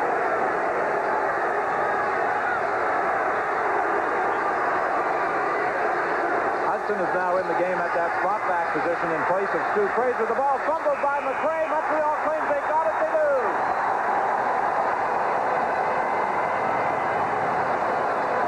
One thing you didn't want to happen, you need to get something going offensively. You can't do it without the ball. They, they caught Montreal in a blitz, and it makes it very difficult to run. And you saw Phil Jones right up on the line of scrimmage. You see them all up there, and the ball's handed off. Now, as he comes in, you'll see number six up there on the line of scrimmage. That means they were blitzing, and the ball comes loose. And Montreal has a chance to take control if they can move it in. Well, you know, I said it was a telltale sequence of downs. If Montreal can take it in right here, the whole momentum will shift over to Montreal's side. They got the veteran quarterback. A product of Western Kentucky, coming up with that ball. They tried to swing it out again to Tony Johns, and that ball was knocked down at the line of scrimmage by Greg Marshall. Well, that's what they've had success on. Just swing that ball out there to that back, let him run. But this time, Greg Marshall did what he should do. If he can't make the sack, get the hands up. And he did and deflected the football.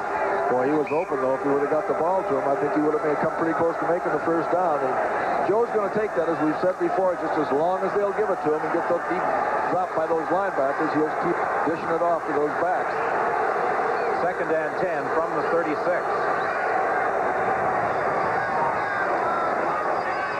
Barnes throwing down the sidelines. It was intended for Patterson, and he, I think, was anticipating that shot from Chris Ziegler as Ziegler from his free safety spot came over and really belted Patterson as he initially started to reach out for the football and then realized it was a good three or four yards ahead of him. Ron, how many times this afternoon has Joe Barnes had opportunities with field position to get points and come out with, at the most points, a field goal, and this time they maybe get a field goal out of this, but they're going to have to kick it like the devil to get one. But he's got to be able to get points when he gets that kind of a break. Both quarterbacks need to do that. On that play, they just rolled that corner up, and Joe tried to dump it into that dead spot. And when you do, you're running a collision course with Ziegler, and that was a pretty good collision. And I think as Patterson comes to the bench, he is feeling the effects of that hit. The field goal attempt by Kurt. It's good. Injured leg and all. Roy Kurtz comes through to put the Montreal Concords in front once again with 4.45 remaining in the third quarter. Position, and they are asking Montreal to kick off after that field goal by Kurtz, and Mike McTague is the man who performs the kickoff sure, but Kevin Gray on the return is caught by Paul Gray at the 30-yard line, so they lost five yards. You know, most kickoff teams and coaches will preach when that guy catches the football, get in behind that wedge and accelerate straight upfield. And as soon as you hesitate, you're in trouble. And he did and tried to give ground and lost yardage. And as you say, they lost five yards. Ron, especially when you're going to get Mike McTague kicking off, and it's going to be a short kickoff. Why try to make a big run out of it when you're going to get the ball on the 30-yard line on the kickoff? Take it right straight upfield and get as much as you can. Montreal leading by three as J.C. Watts on first down dropped back, just got it away. But he was hit from behind as he released by Steve Raquet. For an injury report, let's go to Steve Armitage. Don, you're looking at the injured player Patterson on the Montreal bench. He simply had his bell rung on that play. Uh, you anticipated that he saw the uh, defender coming. He did indeed. He got hit, and they gave him some smelling salts, and they're not taking any chances. He's going to sit out a couple plays. He looks like he should be exorcist. he took quite a blow from Ziegler over on those sidelines, and uh, he is relaxing at that Montreal bench. J.C. Watts isn't relaxing. He's running with the ball for big yardage. He picks up the first down. A gain of 16 to the 46. Stopped finally by Vince Faison. Ron, this is a game where it's all or nothing at all. There's no tomorrow in these playoff games, and this is what this kid does best. Run with the football, get to the outside. If there's nobody open, take the chance and run. There's nothing to save himself for. There's no senior prom, nothing else. That's the thing he should do down there on the 20-yard line when he gets in there close is get to the outside and use that ability that he's got. First and 10, Ottawa from the 46. 3.20 is the time left to play in the third quarter. Montreal leads by three. Quarterback draw. And J.C. Watts has a gain of maybe eight yards before being stopped by Brett Williams. I think he heard you, Leo. They've been concentrating so much on keeping him inside the pocket with the outside rush. He took advantage of it, let him come from the outside, just step back and follow those big linemen upfield. Tim McCray. See what he's going to do. He's just looking for somebody. You lead him, and I'll follow you. And that's about what he did. Picks up seven. Watts now has carried seven times for 66 yards. He's getting almost a first down every time he runs with the football. This time he throws, and it's incomplete, intended for spot back Mike Hudson, and it was almost intercepted on the deflection by Harry Skipper. It's what you have hands for as a receiver. Reach up and catch it in those hands, and try to cradle it in with the arms, and it bounced off the shoulder pads. And boy, that was a big, big miss because that would have given them the first down that they needed to keep the drive alive. Well, I'm not making any excuses for Mike Hudson, but he hasn't been in there. He's been injured a little bit. He's been on the sidelines. It's an extremely cold day. His hands are probably cold, but you got to catch that football. Ken Clark is punting to Phil Jones and Harry Skipper. He already has had one block this afternoon. Phil Jones takes that third down punt on the run back to the 31-yard line. That kick traveled just 37 yards. The best kick of the afternoon by Ken Clark under extreme pressure late in the first half when he booted one 52 yards out of his end zone. Joe Moss talking with his offensive unit, particularly the receivers, Catterbone and Hudson, along with wide men, Thad Jemison and Mark Baruch. Draw play, and Johns was hit fumbled the football, but the whistle had gone. Once again, Jeff Roberts come down from the defensive end on the draw and made the good hit. Limited that gain to only about a yard. And the defense is going to have to do it. They're going to have to get the field position because Ottawa hasn't shown they can consistently move that football on offense yet. Well, I'll tell you one thing. That Jeff Roberts, as you said, Brian, was in there. He not only made the tackle, but Tony Johns is having a hard time getting up. And he has been all over the field this afternoon. He's rushed the passer. He's caught the quarterback on rollouts. He's been up in his face, and now on a running play in there, he's in there and making a real hit on Tony John. So this guy has had a great day.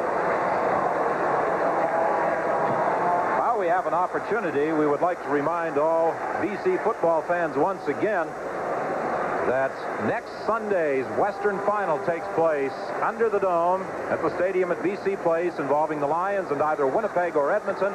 And Josh Keller, the BC Public Relations Director, informs that about 7,500 tickets are still available throughout the lower mainland at all the usual ticket outlets. Well, you see the draw coming. John steps into the hole. Roberts gets hold of him. Feet get a little tangled up. Down he goes. And Chuck McMahon has gone into the ball game to replace Tony Johns. And that Western Final, BC and either Winnipeg or Edmonton, will be seen on CBC television. For Arakgi, wide open. First down to the 46-yard line. And there's another injured Montreal player. And there's also a penalty flag in the Montreal backfield. I'll tell you what Joe Barnes did on this play here. He's been hitting, as you see Chris Haynes down there, look like he's holding his knee, and we'll get a referee's call right here. Major foul, roughing the passer, Ottawa number 79. A compound one right there.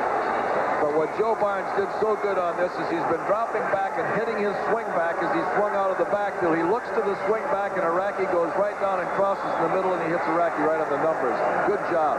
And you saw just coming into the picture, Jeff Roberts decking Joe Barnes after he had thrown the football to Arakgi.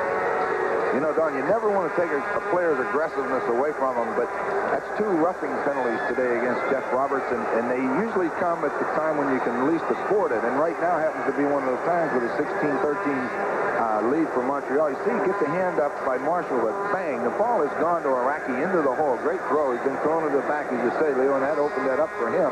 But boy, you hate to see 15-yard roughing penalties tacked on. And Chris Haynes, I didn't see what happened to Chris Haynes, number 19, but he is in a lot of pain down there with a, looks like a knee injury or a leg injury of some kind.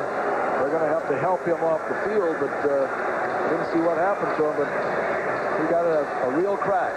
Now let's go to Steve Armitage on the sidelines. I think he can tell us about what's happened. Leo, I can tell you what's uh, the problem with Chris Haynes. He is holding his left knee. It's definitely a knee injury. The injury to Johns was simply uh, an ankle sprain. He had uh, some extra tape put on it, and he'll go back into the ball game. But with Haynes, it is definitely his left knee. That means that Jerry Dattilio, backup quarterback, goes into the ball game as a wide receiver. And Haynes has been a key man in that Montreal passing attack this afternoon. Tony Johns, as Steve said, not seriously hurt. He is back on the field and in the lineup, but Chris Haynes is still down, and they have not yet removed him from the playing field. Sure that, that Chris Haynes just didn't try to break to the outside and lose his footing and either get hung up in that turf or not, because he really didn't get hit. On a field like this, uh, when you make, make a plant, you could very well have that knee go out of place. And he's up on his feet right now, though, and it looks like he's bending the knee. And to tell, though, just exactly what's going to happen after he tries to run on it. But Jerry Dattilio is in there down at the wide receiver spot. The first thing that I think of, Ron, when the wide receiver happens to be a quarterback is what about that hitch and pitch? Get it out there to him, let him throw it. Well, he won a Schenley Award as the outstanding Canadian a few years back. Schenley Awards, part of this week, this year's Grey Cup festivities. And, of course, you'll see it all on CBC television. They tried a little shovel pass, Don. Just sprint Barnes out to the right and bring Alan Reed underneath it, or Tony Johns, and then just come dump it over his head and let him run. Michel Bourgeau was there. They had the pressure on Barnes. They had everything covered, and they were very fortunate it's not intercepted. Some good personal statistics for Joe Barnes this afternoon, completing 21 of 31. And he has also thrown a couple that have been dropped. Tell you, Ma, Ma, Bowen, Ma Barnes is, uh, may have raised some fat kids, but she never raised any fools. Those little swing passes will really fatten your statistics. Sideline pattern. Chapdelaine will be close to a first down at the 20-yard line. Chris Haynes has the ice bag on his injured knee and is grimacing in pain at that Montreal bench. The Concordes have been forced to substitute at both wide receiver positions with Patterson and Haynes going out. Chapdelaine and Dattilio are in. I've always been impressed by Chapdelaine. It's nice to see him get a chance to play, and this is a big game. We'll see what he can do, because this is the time you have to come up big. 13 seconds remaining in the third quarter. First down. Barnes throws it up there, and there was a mix-up involving McTague and Chapdelaine. Neither went into the end zone. If, in fact, that's where they were supposed to go, Barnes threw it there anyway. That's the one thing you have to worry about when you have the new receivers in there. Joe Barnes, in his practice procedures throughout the week, is spending most of his time with his regular receivers. I mean, as you know, Ron, better than anybody else, it takes a lot of time and a lot of timing to work with your receivers. When you got two brand new guys in there, that can happen. There was a mix-up, and Barnes did the smart thing. He threw it away. Did a wise thing with the ball. He just grounded that one. Second and 10 from the 20-yard line. Inside for a Rocky. Touchdown! Well, when you want to blitz inside and a target like Arakgi gets into the middle, Chris Ziegler just isn't big enough and strong enough to bring him down when he gets up ahead of steam. And that's a great read by Barnes and Arakgi. Well, that's the one thing we said about Barnes before the ball game even began was that he is a veteran. He can take the rush. And again, the backs went out of the backfield to the right. He looked at the back swinging down the backfield and then just dealt it right down the middle to Arakgi coming across the middle. And we said before, Arakgi can break tackles with his strength in the open field, and he got in the end zone for the touchdown. Arakgi initially pulled away from Chris Ziegler, and he fought his way those final three yards for the major score. But this game is taking its toll. There is another injured Concorde.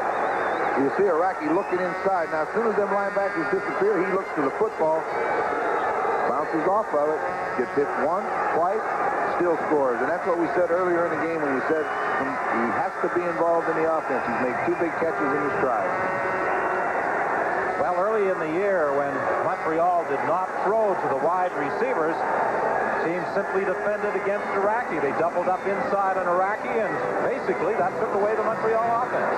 That's exactly what it did. When your wide receivers aren't involved in a game, you can concentrate inside. And once you get those wide receivers involved, it'll open up a lot of things inside for a guy like Arakgi who likes it in there where it's tough.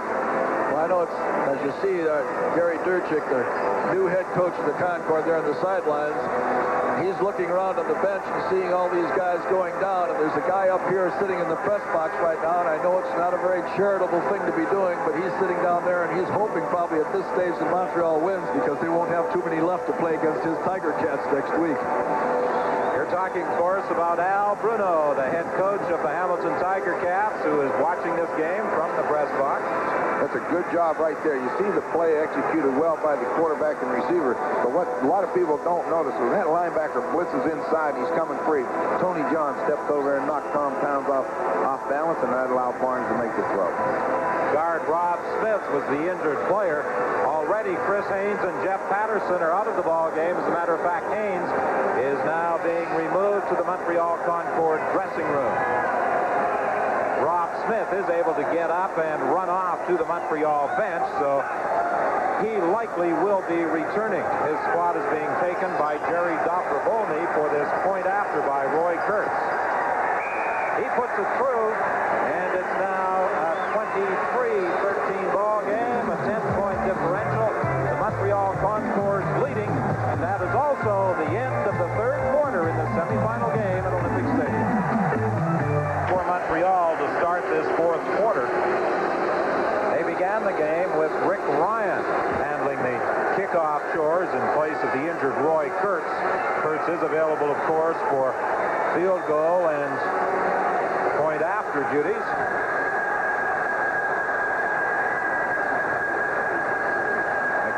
Practice this week was not kicking it particularly deep. He hasn't hit one very deep either in the ball game so far. This is his best kick to the 15-yard line to Catterbone. They're trying to set up the wall to the left. Catterbone ran into one of his own men. And then Miles Darling came in to make sure he stayed down.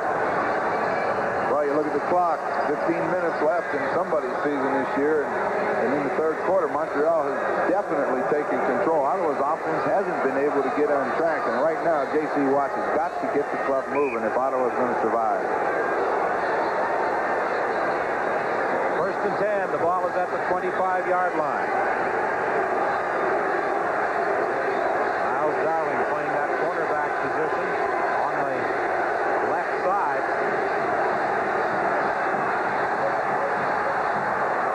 Sideline pattern intended for Jemison, incomplete. Even if he had made the catch, he was out of bounds. Well, Joe Moss made the statement early in the week that J.C. Watts was having a good game, that they had a very good chance of winning, and if he was having a poor game, that he would be just as advised to be up in the stands selling popcorn. And J.C.'s got to get it on track here. Joe's better turn around and get the popcorn on his back. J.C. Watts does not have very good statistics through three quarters, completing just 7 of 17 for less than 100 yards. He's forced to run the ball, and he is going to be stopped short of a first down by about two yards by Lamont Jeffers. This Montreal defensive unit is putting much more pressure on, Bar on J.C. Watts than they did in the first two games of regular season play. Well, we know for sure that last game when we were here, J.C. Watts had a field day rolling around, throwing to receivers and backs. That's the day Mike Hudson caught 10 passes, I believe. But uh, today it's a little different story. He's scrambling a lot back there. He's not having the success. He hadn't had the time to take and look around back there. Somehow, J.C. Watts has been an option-type quarterback at the University of Oklahoma, and he's never really learned to take the rush as a drop-back passer. And we said that before the ball game, that Joe Barnes could take the rush and could spot those guys and, and get to those flare guys and those quick guys when they're coming with the blitz. But JC somehow, when the rush gets up in his face, he kind of panics a little bit and always goes for the run, and uh, that's been his history this afternoon. Moss and his Ottawa Rough Riders trailing by 10 with 13.58 remaining in the ball game. The winner will advance against the Hamilton Tiger Cats for the Eastern Championship next Sunday at Ivor Wynne Stadium in Hamilton. Alan Reed is back on this punt return unit. He takes that third down kick by Ken Clark and is stopped at the 47-yard line by Rick Sowieta. That's where Montreal will scrimmage first and 10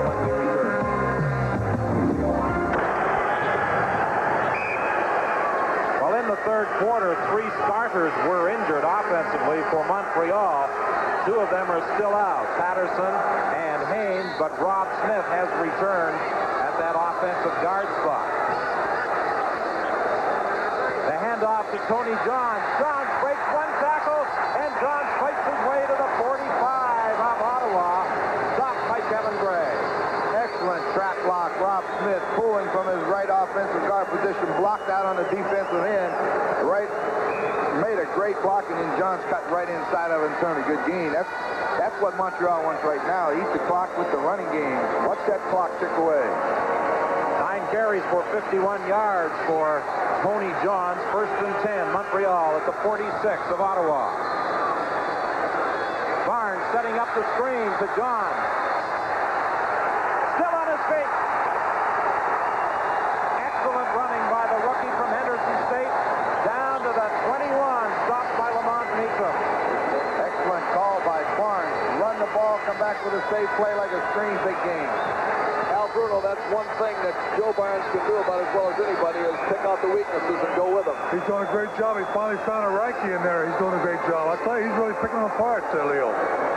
Al Bruno, head coach of the Hamilton Tiger Cats. We made a comment earlier in the telecast. This is a different Montreal team offensively than the one you played earlier in the year. They're doing a few more things. They sure are. They're spirited and they're enthusiastic. And look at it. They just they just keep going down the field. Uh, Alan Reed that time for another first down to the 10-yard line. Rick Sowieta came over to make the tackle. Well, they spot the ball at the 11, so it may require a measurement to determine if, in fact, it is a first down. Well, I said earlier in the third quarter, it didn't look like any team had taken control yet before the Montreal Concorde have definitely owned it since about the eight-minute mark in the third quarter. And right now, they are in control. And I don't really know if Ottawa can come back right now because the way they're going, they're going to put this in the end zone. Michel Bourgeau is the injured Ottawa player, and when they spotted that ball, it was a Montreal first down. Gary Durchik, in only his third game coach of this Montreal football team, replacing Joe Galat, who decided that he had to make a change and the coach should go, so he remained in the general manager's office and appointed Durchik to succeed him following that 30-7 loss here at Olympic Stadium on the 19th of October. Well, Al Bruno, a lot of people say that Joe Barnes can only come through with a couple real big games every year, but when he's hot, he's hot, and he looks like he's getting hot at the right time. it is. You know, he's picking them apart there, and he just, uh, you know what he can do. He's an experienced quarterback, and he's just moving down the field. 11.44 is the time remaining. Ron Engelson has replaced Michel Bourgeau at that defensive tackle position. First and 10, Montreal over the middle. Arakgi to the goal line. He is stopped at the one. That should be a first down, though. You know what they do, Ron? They really got concerned early in the ball game when they swung the backs out of the backfield, and the linebackers that are dropping back in there in the middle to take care of that crossing pattern are concerned with those backs swinging out of the backfield and hesitating a little bit, and is getting in there in the middle and catching the ball. Yeah, that time they ran Chris Ziegler and Tom Towns out on the back, and that opened it wide open for Arakgi and Barnes. Well, as Al said, he's experienced and he knows what he's doing, and he's got it figured out. Johns with his second touchdown of the ball game. That ball popped away from Tony Johns, but he had crossed the goal line, and as soon as you break that plane, it's a touchdown, and that's what Tony Johns did. Well, you know, early in the season, Montreal looked like the team to beat in the East. They just played great. I'm talking to Al Bruno here again, and Al, they look like they may be peaking at the right time, and you're going to have your hands full. I'm very concerned. They really look good right now, Leo. Uh, Barnes getting good protection. The guys are catching the ball for him now, and uh, they're just moving up and down the field right now, that really concerns me. I bet it does. Actually, though, we, we shouldn't sell the uh, Ottawa Rough Riders short. There's still 11 minutes left in this ball game. They could come back. They sure can, right there. Roy Kurtz with the point after to add to the lead of the Montreal Concordes in this final game. Going to kick off for Montreal, and I'd suggest that the Ottawa Rough Riders hope to prolong their season. They had better put a drive together on this kickoff. Catterbone takes that low bouncing kick, and then is brought down by George Smith as he works his way out to the 34-yard line. A wise move by Mike McTague. He doesn't have much success in kicking it deep. Whip it along the ground and roll further than you can kick it in the air. Especially on a day like today with that field wet, it will go a long way, and they're getting great coverage from their kickoff coverage team. Right now, everything's going Montreal's way, and I think it's mainly due to Joe Barnes came back today, and, and he just started to do the things that you expect from your quarterback in big games. Going to get another look at that touchdown. As we talked about before, actually, we didn't get a look at it, so we'll probably come back a little bit later and see it. But right now, that Montreal defense is out there now, and I saw them take off on that field when the ball exchanged now, they're ready to play, and there's a lot of enthusiasm on the Montreal side. And Ron, as you just alluded to a short time ago, they're going to be a tough team to beat. We're going to get another look at it right here. The touchdown, you see Johns following in there behind his blocker, Reed, takes it right into the end zone. Set up by Nick Arakgi, who made the throw and carried down to the goal line. Tony Johns now with two touchdowns, but I think the rookie head coach Gary Durchik has to be concerned as he watches the players go down in the second half. Johns went down, was able to come back. Patterson went down, has not returned. Haynes went down, has gone to the dressing room. Rob Smith was hurt. He has come back. And now Is injured and limping off to that Montreal bench. A 17-point spread. The Montreal Concordes leading the Ottawa Roughriders. Remember, in the two regular season games, the Ottawa Roughriders dominated, winning 23-7 and 37. So in those two games, they outscored Montreal 53 to 14. J.C. Watts throws the pass over the middle for a gain of just three yards. Tim McCray took the pass. I was interested to watch the Montreal defense now. Ottawa has to have a big play, and they have to have it now. They're down too far. I was anxious to see what Montreal's defense would do. They were 25 yards deep. They're not going to give them that big play right now, and that's what they have to be concerned with. Make Ottawa, if Ottawa scores, make them use time off the clock, and that's everything in Montreal's favor now. If they're just careful on defense. Gets a big play out of that front four. They need a second down conversion right now. J.C. Watt tries to deliver. He overthrows Mike Catterbone. And that forces Ottawa to kick. You can't run that tried right there against that particular defense at Montreal Arena. They just sit in the zone. They can run around and do all they want. Those defensive backs are just going to sit there and wait on the football. And that number six right there, he doesn't look like he has the confidence that he has to have at this stage of the football game. He's erratic in his passing, and he's a little bit indeterminate about what he's going to do with his football team. He's got to get them together because time is running out.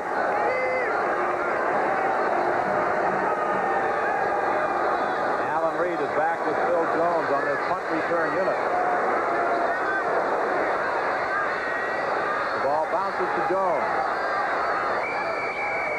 And very quickly, Thad Jameson got down to make the tackle at the 34-yard line. A 42-yard kick that time by Ken Clark. A run back at five by Jones.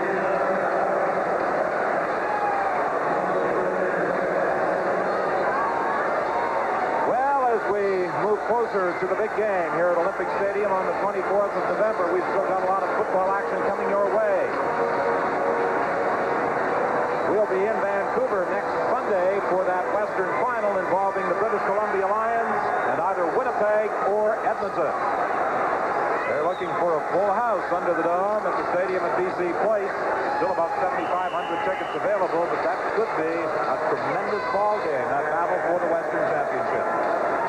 Well, you know, I any football game, I like all football games. But the Western Final over the years has been a, just an outstanding game, and what a better place to play it than in Vancouver. One of the more memorable Western finals I can recall took place at Clarke Stadium in Edmonton. Do you remember the fog rolling in that year? Oh, yeah, I remember. That was really unbelievable. We only had it for about two minutes, but you couldn't see anything. Our producer kept running replays, and we didn't see it the first time.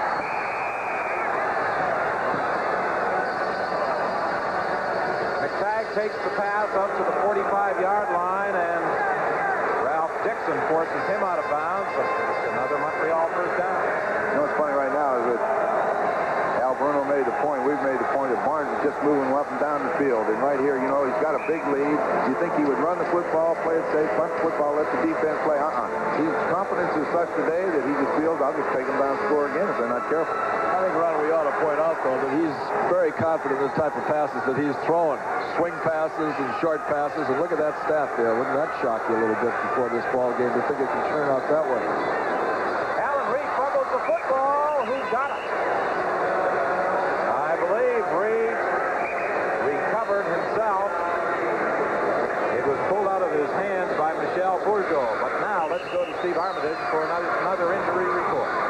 Don, the seen number 26, Harry Skipper, on the punt return team for the Montreal Concordes is very simple. He took a knock on the knee. It's a bruise. The coaching staff of the Concordes simply aren't taking any chances.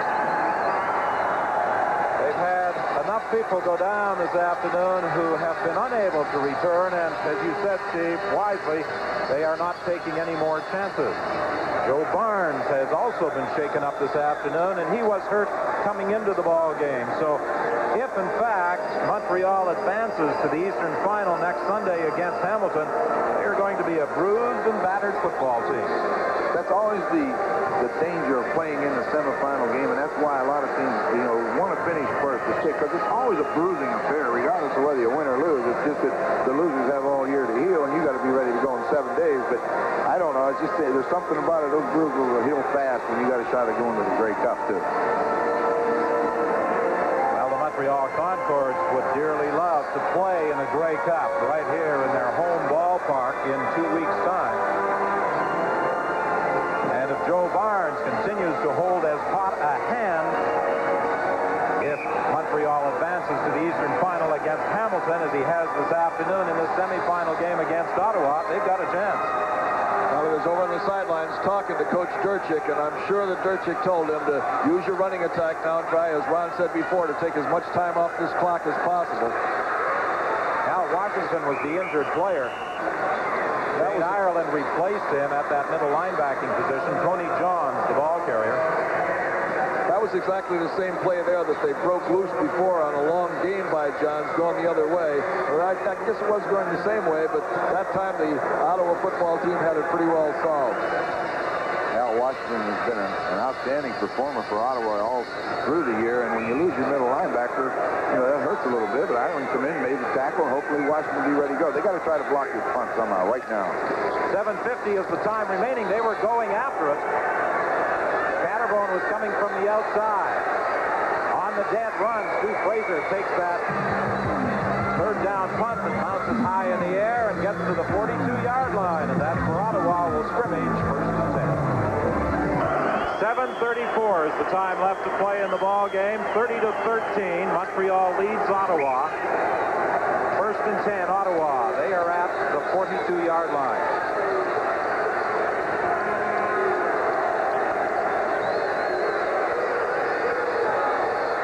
J.C. Watt did not find the receiver, and he was decked by two people.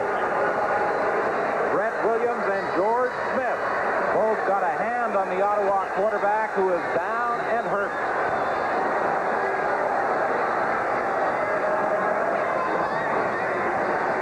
Well, that bootleg pattern again where JC wants to fake to McCray and then roll out. We're going to see him take the hit. Pretty good hit to stand him up and one to finish him off. And the way these teams are going right now, just looking down on the field, the enthusiasm is all of the guys with the red jerseys. Montreal can taste it. And, you know, as we've said so often in the past, they had such a great season to start out with, and they ended up in the middle of the season slowing down. Now they're coming strong again. And with J.C. Watts forced to go out of the ball game for at least one play, Mike Hohensee, the backup quarterback, will come in, and he did not have any opportunity to get loose over at that Ottawa bench. As a matter of fact, the moment J.C. Watts went down, he had to run over there and grab a football and start throwing. And now he comes into the ball game. Troy Bodine had been the backup for the Ottawa Rough Riders earlier in the year, but they activated Hohensee for this ball game. And he has seen action with a couple of teams this season, the most recent being the Toronto Argonauts. And J.C. Watt better get ready because if they don't make it on second, they've got to go on third. Quarterback draw. And Hohensee fumbled the football. Montreal claim they've got it. But apparently the play had been whistled dead. I'm not too sure about that call, Ron. Although Hohensee was cold, and maybe he just didn't feel that he had the ability to throw the ball with any degree of accuracy, being cold and coming off the sidelines. But he certainly wasn't going to do much with that play. No, that's, uh, I don't like that call at all. I agree. He was down when the ball was fumbled. Here's what I don't understand. Throw the foot. JC, get in there and throw the ball. Quit messing around. We're going to kick it.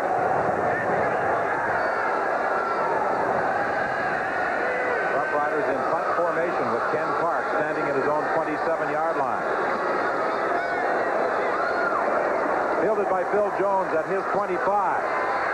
Jones finds a bit of a hole and gets out to the 39-yard line. A 39-yard kick by Ken Clark and a run back of six yards by Phil Jones. He was stopped by Ron Engelson. Well, with a perfect record as a head coach of the Montreal Concordes, winning the only two games in which he directed traffic from behind the bench, and it looks very much with 6.14 remaining that he'll make it three for three.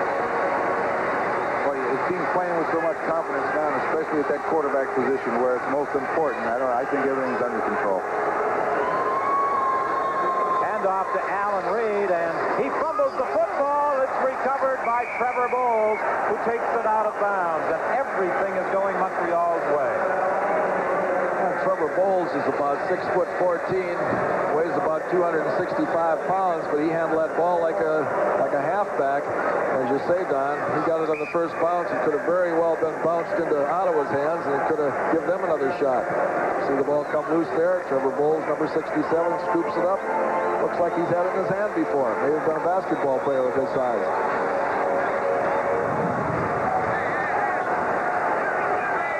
Despite the fumble, it's a gain of eight yards. It's will make it seven yards. It's second and three. It's fumbled again, and this time Joe Barnes gets the ball. As I said, when things are going your way, it seems they just continue to roll along. You know, looking back, know, trying to think just now where I thought like a turning point was. And the only thing I can come up with is J.C. Watts was going along pretty good, and when he threw the interception to Paul Gray, from that point on, he just hasn't moved the football. Did you see Dar Gary Durchik there on the sidelines? He's uh, he's just taken over this job a couple weeks ago, but he showed a little emotion there. And sometime uh, in the press conference the other day, they were mentioning that both of these coaches are emotional coaches, and Durchik didn't look very emotional in that press conference, but he showed a little bit of emotion here, and I think he told his quarterback, let's keep the ball on the ground and don't take any chances of throwing it around like that. McTague's third down punt to Stu Fraser. They're running the reverse with Caterbone, but Montreal was ready for it. Aaron Hill dropped Caterbone with an excellent open field tackle. I look down on the bench. I see Mark Stevens warming up down there for Concorde. Maybe he's going to get a chance to play today. I think it's good. It's a good time. I don't think they're in too much danger right now. They're 30-13 lead. Now J.C. Watts is going back in the ball game, so they're going to fire their best shot with the 5.03 left in the game. Way that Aaron Hill and several of those Montreal coverage people got downfield, you'd almost think they were looking at that Ottawa playbook. They seem to be ready for that one. Well, you know they were warned. Ottawa's run it before, so you're going to be warned about that. Stay home. J.C. Watts back in at quarterback for Ottawa. He got away from Brett Williams, throws deep at Jemison. Made the hit, or made the catch, and Aaron Hill the hit, but Jemison was able to hang on. Give him full marks for this reception because Aaron Hill stuck him just as he caught the ball and turned. Aaron Hill was there to really level him. Boy, those are the kind that are really smart, too, because you usually get them in the back or in the kidney area or someplace, and it's very easy to forget about that football and let it go.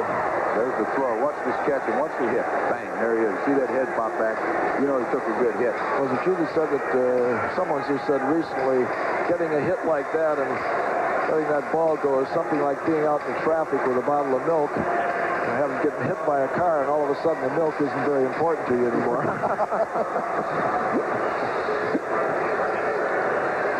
You know, Ron, you talked about turning points in this ball game. In one of our commercial breaks, I think you may have hit the nail on the head when you said the turning point occurred last weekend. Yeah, Ottawa had a tough week last weekend. You know, they went out to BC and they played the Lions a heck of a football game, and you know they had the opportunity to finish first at that time, and they lose to the Lions, and then they wanted home field advantage and you know finishing second, and Montreal up and beats Edmonton, so they go from first to second and third, and as you mentioned, and then Joe gets fined two thousand dollars for the week. It was a tough couple days for the Ottawa Rough Riders. As you pointed out earlier, Stevens is warming up at that Montreal bench, so we may see young quarterback in the final minutes of the ball game. Caterbone was the intended receiver. The throw just a little high, and it falls incomplete. Well, that's what Gary Durchik said yesterday at the press conference regarding his backup quarterbacks. Jerry Dattilio with the experience, Stevens with the mobility. Don't want to risk any further injury to Joe Barnes, the man that uh, is a key if they're to advance beyond the Eastern Championship. So I think we're going to see Stevens. J.C. Watts is in trouble again, being chased by Raquet. He gets the throw away, incomplete. It was intended for Tim McCray. Well, Well, they just can't handle the Montreal rush right now, but I know this. It's time to give Joe Barnes a rest. He did what was expected of him today, and something that they've been wanting to do since they obtained him from the Calgary Stampeders. He's come in and provided leadership, and we saw that statistic on the screen a little while ago, 26 first downs, and it proves once again what we said. First down, CA touchdown. Right, it's the score, as we look up on the scoreboard, 30 to 13. Third down here. Why not go for it? Ken Parks, third down kick, taken by Phil Jones at the 10-yard line. And he is stopped at the 20. A 47-yard kick that time by Ken Clark. Well, while we're waiting right here, this program is copyrighted and is strictly for the private use of our audience. Any reproduction, retransmission, or exhibition in whole or in part without the express written consent of the Canadian Broadcasting Corporation is strictly prohibited. Well, I tell you what, I'm a little bit surprised. Is Joe Barnes still in there? Joe Barnes is back in there. Perhaps Gary Durchik decided with that ball deep in his own zone at the 20-yard line, he better go to the experienced quarterback. And the guy Stick with the man who has them in this 30 to 13 lead. Yeah, I think that's a good play at this part, Don. Plus the fact that Joe is warmed up, too, and uh, his hands are warm and the whole thing. And as you say, down at that stage right there, if they fumble the football, it could be very, very dangerous in this stage of the football game. And we'll be back in just a moment. Second and 10. Montreal at the 20-yard line. I think it's uh, safe to assume that Barnes might be handing off again on this play. No, he's going to throw it. Sideline pattern intended for McTague, incomplete. Now it's third and 10. I thought that with Barnes continuing in the ball game, deep in his own zone, he would hand off to either Reed or Johns and use up some time. That's when the confidence factor comes in. He's played so well today. Joe probably feels he can do anything right now. Why not take the chance? And he didn't like what he saw. He threw it out of bounds. I'll tell you, I don't care how good he is or how well he's played or anything else. Had he thrown that ball five yards away from somebody over there in the defense, I'd say I'd agree with you. But it was too close to that defender to throw the ball, and it was ill-advised to put the ball in the air at this stage of the ball game. Well, I know. We're not going to agree on that. You got to know that. You got to think like a quarterback. Caterbone takes that third down punt by McTague and is stopped at the 45-yard line.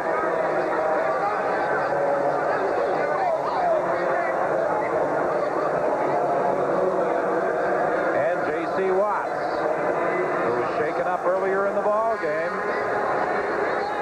will continue to direct the attack for these final two minutes and 31 seconds. And you can bet he's going to take a little more rough treatment from that Concorde defense because they know he's got to put it in the air, so they're going to be coming.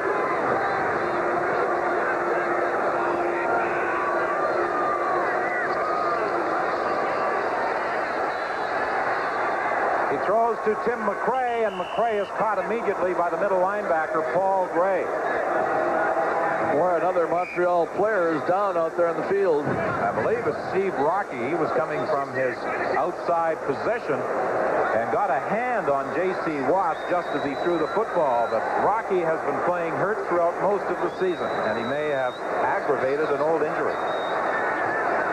You tell me I got to think like a quarterback. Now, I'm not. Uh, present company denied. How many quarterbacks have ever made good football coaches? All of them.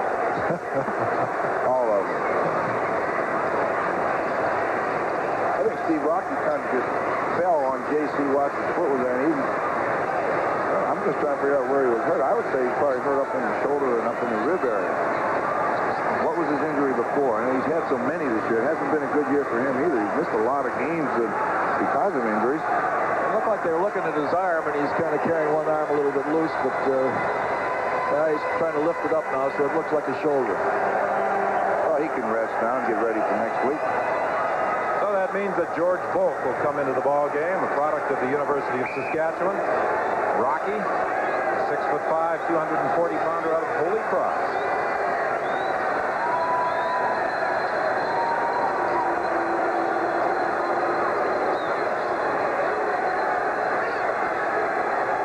Second down play, four yards to go.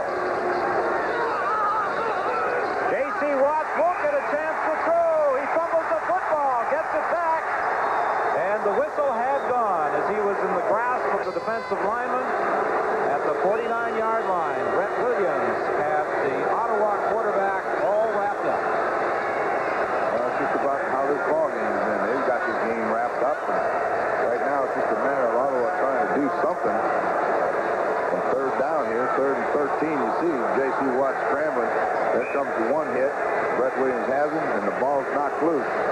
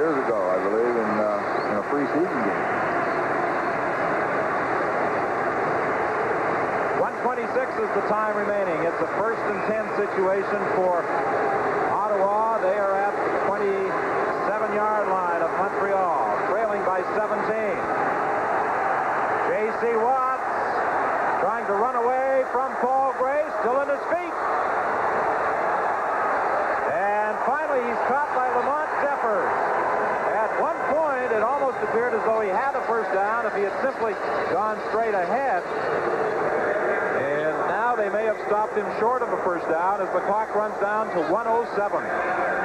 The executive producer of CFL football on CBC television is John Spalding. Today's game was produced by Lawrence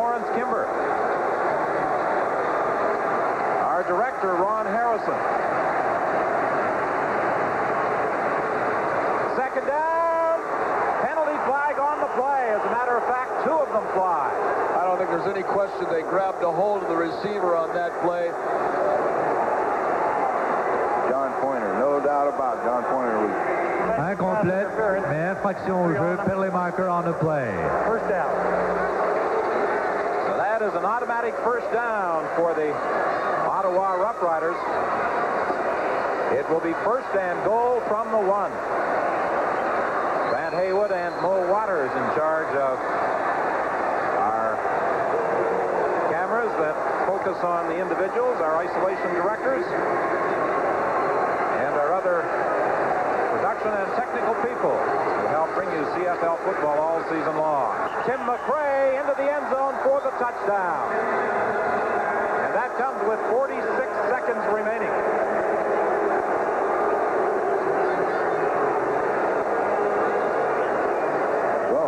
Scored the first touchdown of the game. It looks like they're going to score the last one because with 46 seconds left, Montreal will be very content to just watch those 46 seconds go away.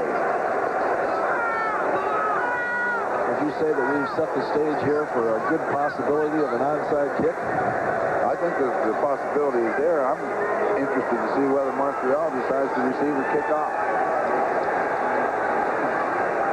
Well, not having someone to kick the ball deep, I think they might decide to receive. Penalty flag. Time count violation against the Ottawa Rough Riders. Apparently the problem uh, as far as Ottawa was concerned is that uh, Ken Clark had lined up too close to the line of scrimmage. Time count violation. Ottawa number two. In preparing to swap the ball for the point after. A little too close, and Dean Dorsey wanted him to move that kicking tee back. I always thought the kicker spotted him. He puts the tee down or whatever it is where he wants it. This time Dorsey puts it through. The point after, and it's now 30 to 20. Montreal in front. Have to. Well, Joe Barnes, who has had an outstanding ball game as the quarterback of the Montreal Concordes, has been chosen our Carling O'Keefe offensive game star. And that man, number 42, middle linebacker Paul Gray, is our Carling O'Keefe defensive game star. Well, I'm telling you, I'm really happy for Joe Barnes. He's had a tough year.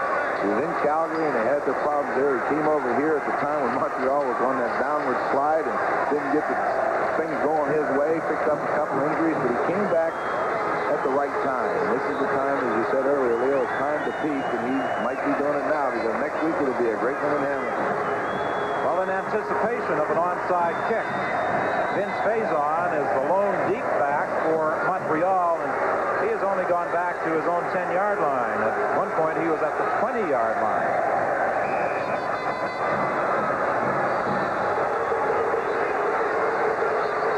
It's a short kick, and Raquet touches the ball, but has Ottawa recovered.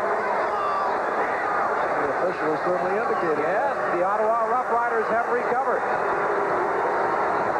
Ball traveled 12 yards, and uh, it only had to go 10, of course.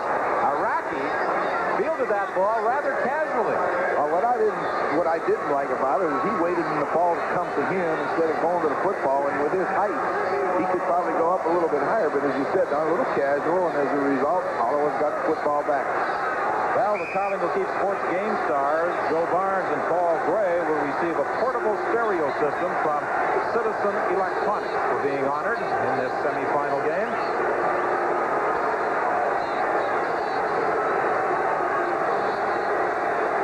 Clock will not start until the ball is snapped.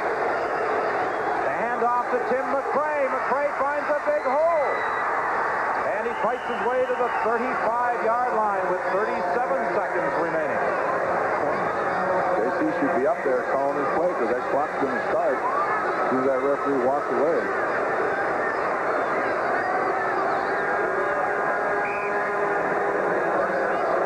There it goes. From the 35, first down, Ottawa. J.C. Watts flipping it out to Tim McCray. McCray is stopped short of the first down by Paul Gray. 22 seconds remain. He had to go to the end zone for that ball. He can't afford to throw it short. Well, many of the same people who have helped bring you this afternoon's semifinal game will be working on our Grey Cup coverage from Olympic Stadium on the 24th of November. And next Sunday, our production crew will be out in Vancouver for that Western Final. The BC Lions against either Edmonton or Winnipeg. Pass over the middle, incomplete. Hit again on Mike Caterbone. There were three Montreal defensive backs there to apply the hit. They were led by Aaron Hill. Well, Caterbone should have caught that football. The ball was thrown in there about as well as you can throw it, but the good hit, and the ball came out. Just 12 seconds remaining. 30-20. Montreal leads, and next Sunday afternoon, the Hamilton Tiger Cats will be entertaining the Montreal Concordes in the Eastern Final. The throw is incomplete. That was the third down pass. J.C. Watts looking over the middle, and with just seven seconds remaining, this ball game is now officially over, although I think it's been over for just about the last 15 minutes with the Montreal Concordes in control. Actually, the only thing I think that the Concordes did a little shabbily in this last quarter was, as you said, Don, the way that they reacted to that onside kick. It was a little lackadaisical. It was a little dangerous on their part. Other than that, they've played well offensively and defensively and really have taken it away from the Ottawa Rough Riders. Well, they deserve full marks for the effort today. We said earlier in the year after seeing them in some of their games that they were going to have problems the rest of the year, but they have bounced back and bounced back well. However, they will be a bruised football team for that Eastern Final against Hamilton. Barnes simply drops to one knee. That used up one second, but now the clock will start as the official, Ross Perrier, the referee, moves away from the ball. And this one will go into the books as a 30 to 20 Eastern semifinal win for the Montreal Concordes over the Ottawa Rough Riders. The third straight win for Gary Durchik as he remains undefeated as the head coach in the Canadian Football League. Coming through with a 30 to 20 victory over the Ottawa Rough Riders, so that sends Montreal to Hamilton next Sunday for the Eastern Division Final in a game that you'll see on the full CTV network, the Tiger Cats against the Concordes. And how about that Gary Durchik since taking over from Joe Galat as head coach? The Concordes are unbeaten with Durchik at the controls. defense for the Edmonton Eskimos. Number 91 at left end, Andre Pineseth. Number 75 at defensive tackle, John Mandrich. Number 92 at defensive tackle, James Zachary. Number 95 at right end, Dan Kearns. Number 43 at linebacker, Craig Schaefer. Number 30 at linebacker, Danny Bass. Number 36 at linebacker, Stuart Hill. Number 24 at cornerback, Daryl Hall. Number 17 at defensive halfback, James Bell. Number 15 at safety, Laurent DesLauriers. Number 28 defensive halfback, Ron Howard. And number five at cornerback, Mark Jackson. Head coach, Jackie Parker, and the rest of the Edmonton Eskimos.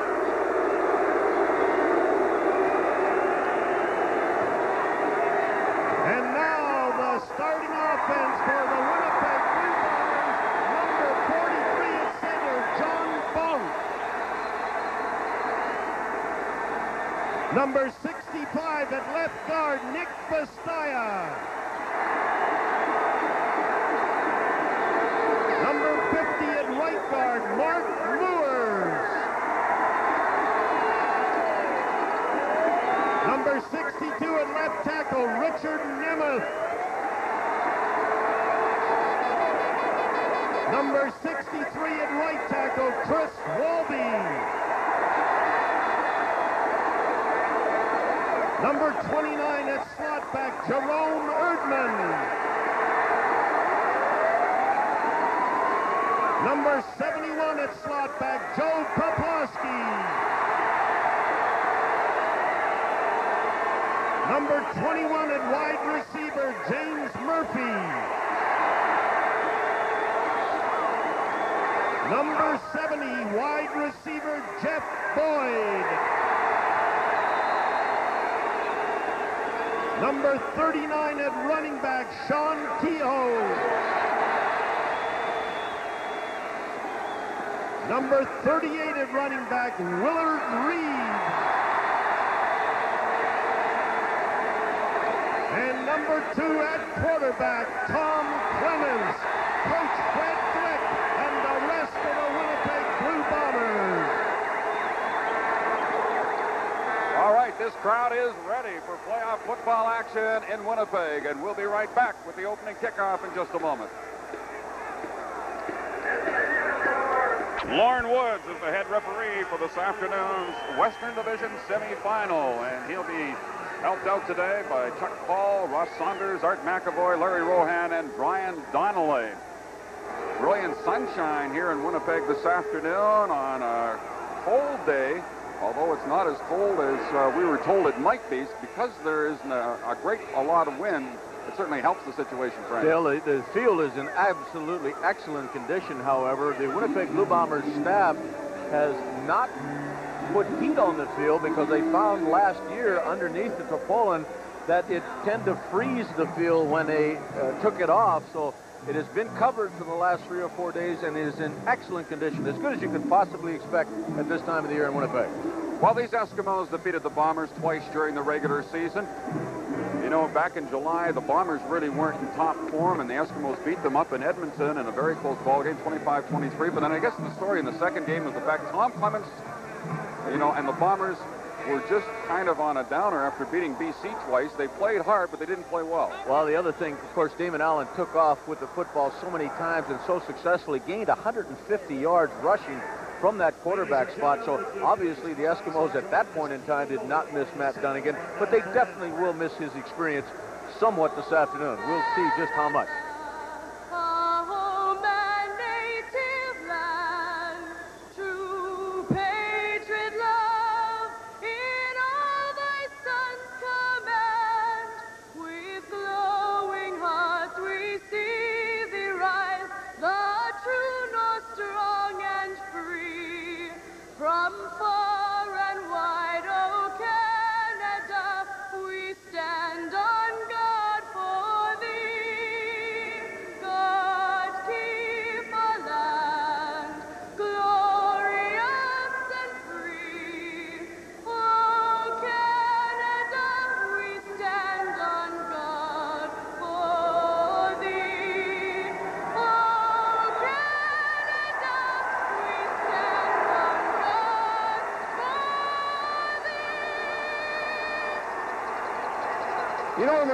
I've covered football, I don't think I've seen a team experience as many injuries as the Eskimos have in 1985. These are just first-string players they're missing today. Uh, from the offense, you noticed uh, a few, but from the defense, look at that. Two and eight, the most recent to go down, along with Murphy, Daly, Thompson, Tony, and Holloman. So believe me, the Eskimos go into this one in very, very tough. Tuina isn't playing. It was just revealed yesterday. He suffered an injury in their regular season finale last weekend in Montreal, and the injury to his ankle just never responded to treatment. In fact, Jack Parker said it just got worse as the week wore on. Well, Dale, in addition to that, James Zachary, who's had just an outstanding last half of 1985, is playing with a broken bone in his foot. They're not sure exactly how long he'll last, so they're very, very thin uh, at defensive line position. The Eskimos will get the ball first. Chris Woods has it bounced by him at the 10-yard line, and he'll step out of bounds at the 9. So the Eskimos will have to start deep in their own zone. A 57-yard kickoff and a return of one. So it's the rookie Damon Allen leading the Eskimo offense to the field. Larry Cowan and Milson Jones, who's also hurting, as the starting running backs. Wide receivers, Chris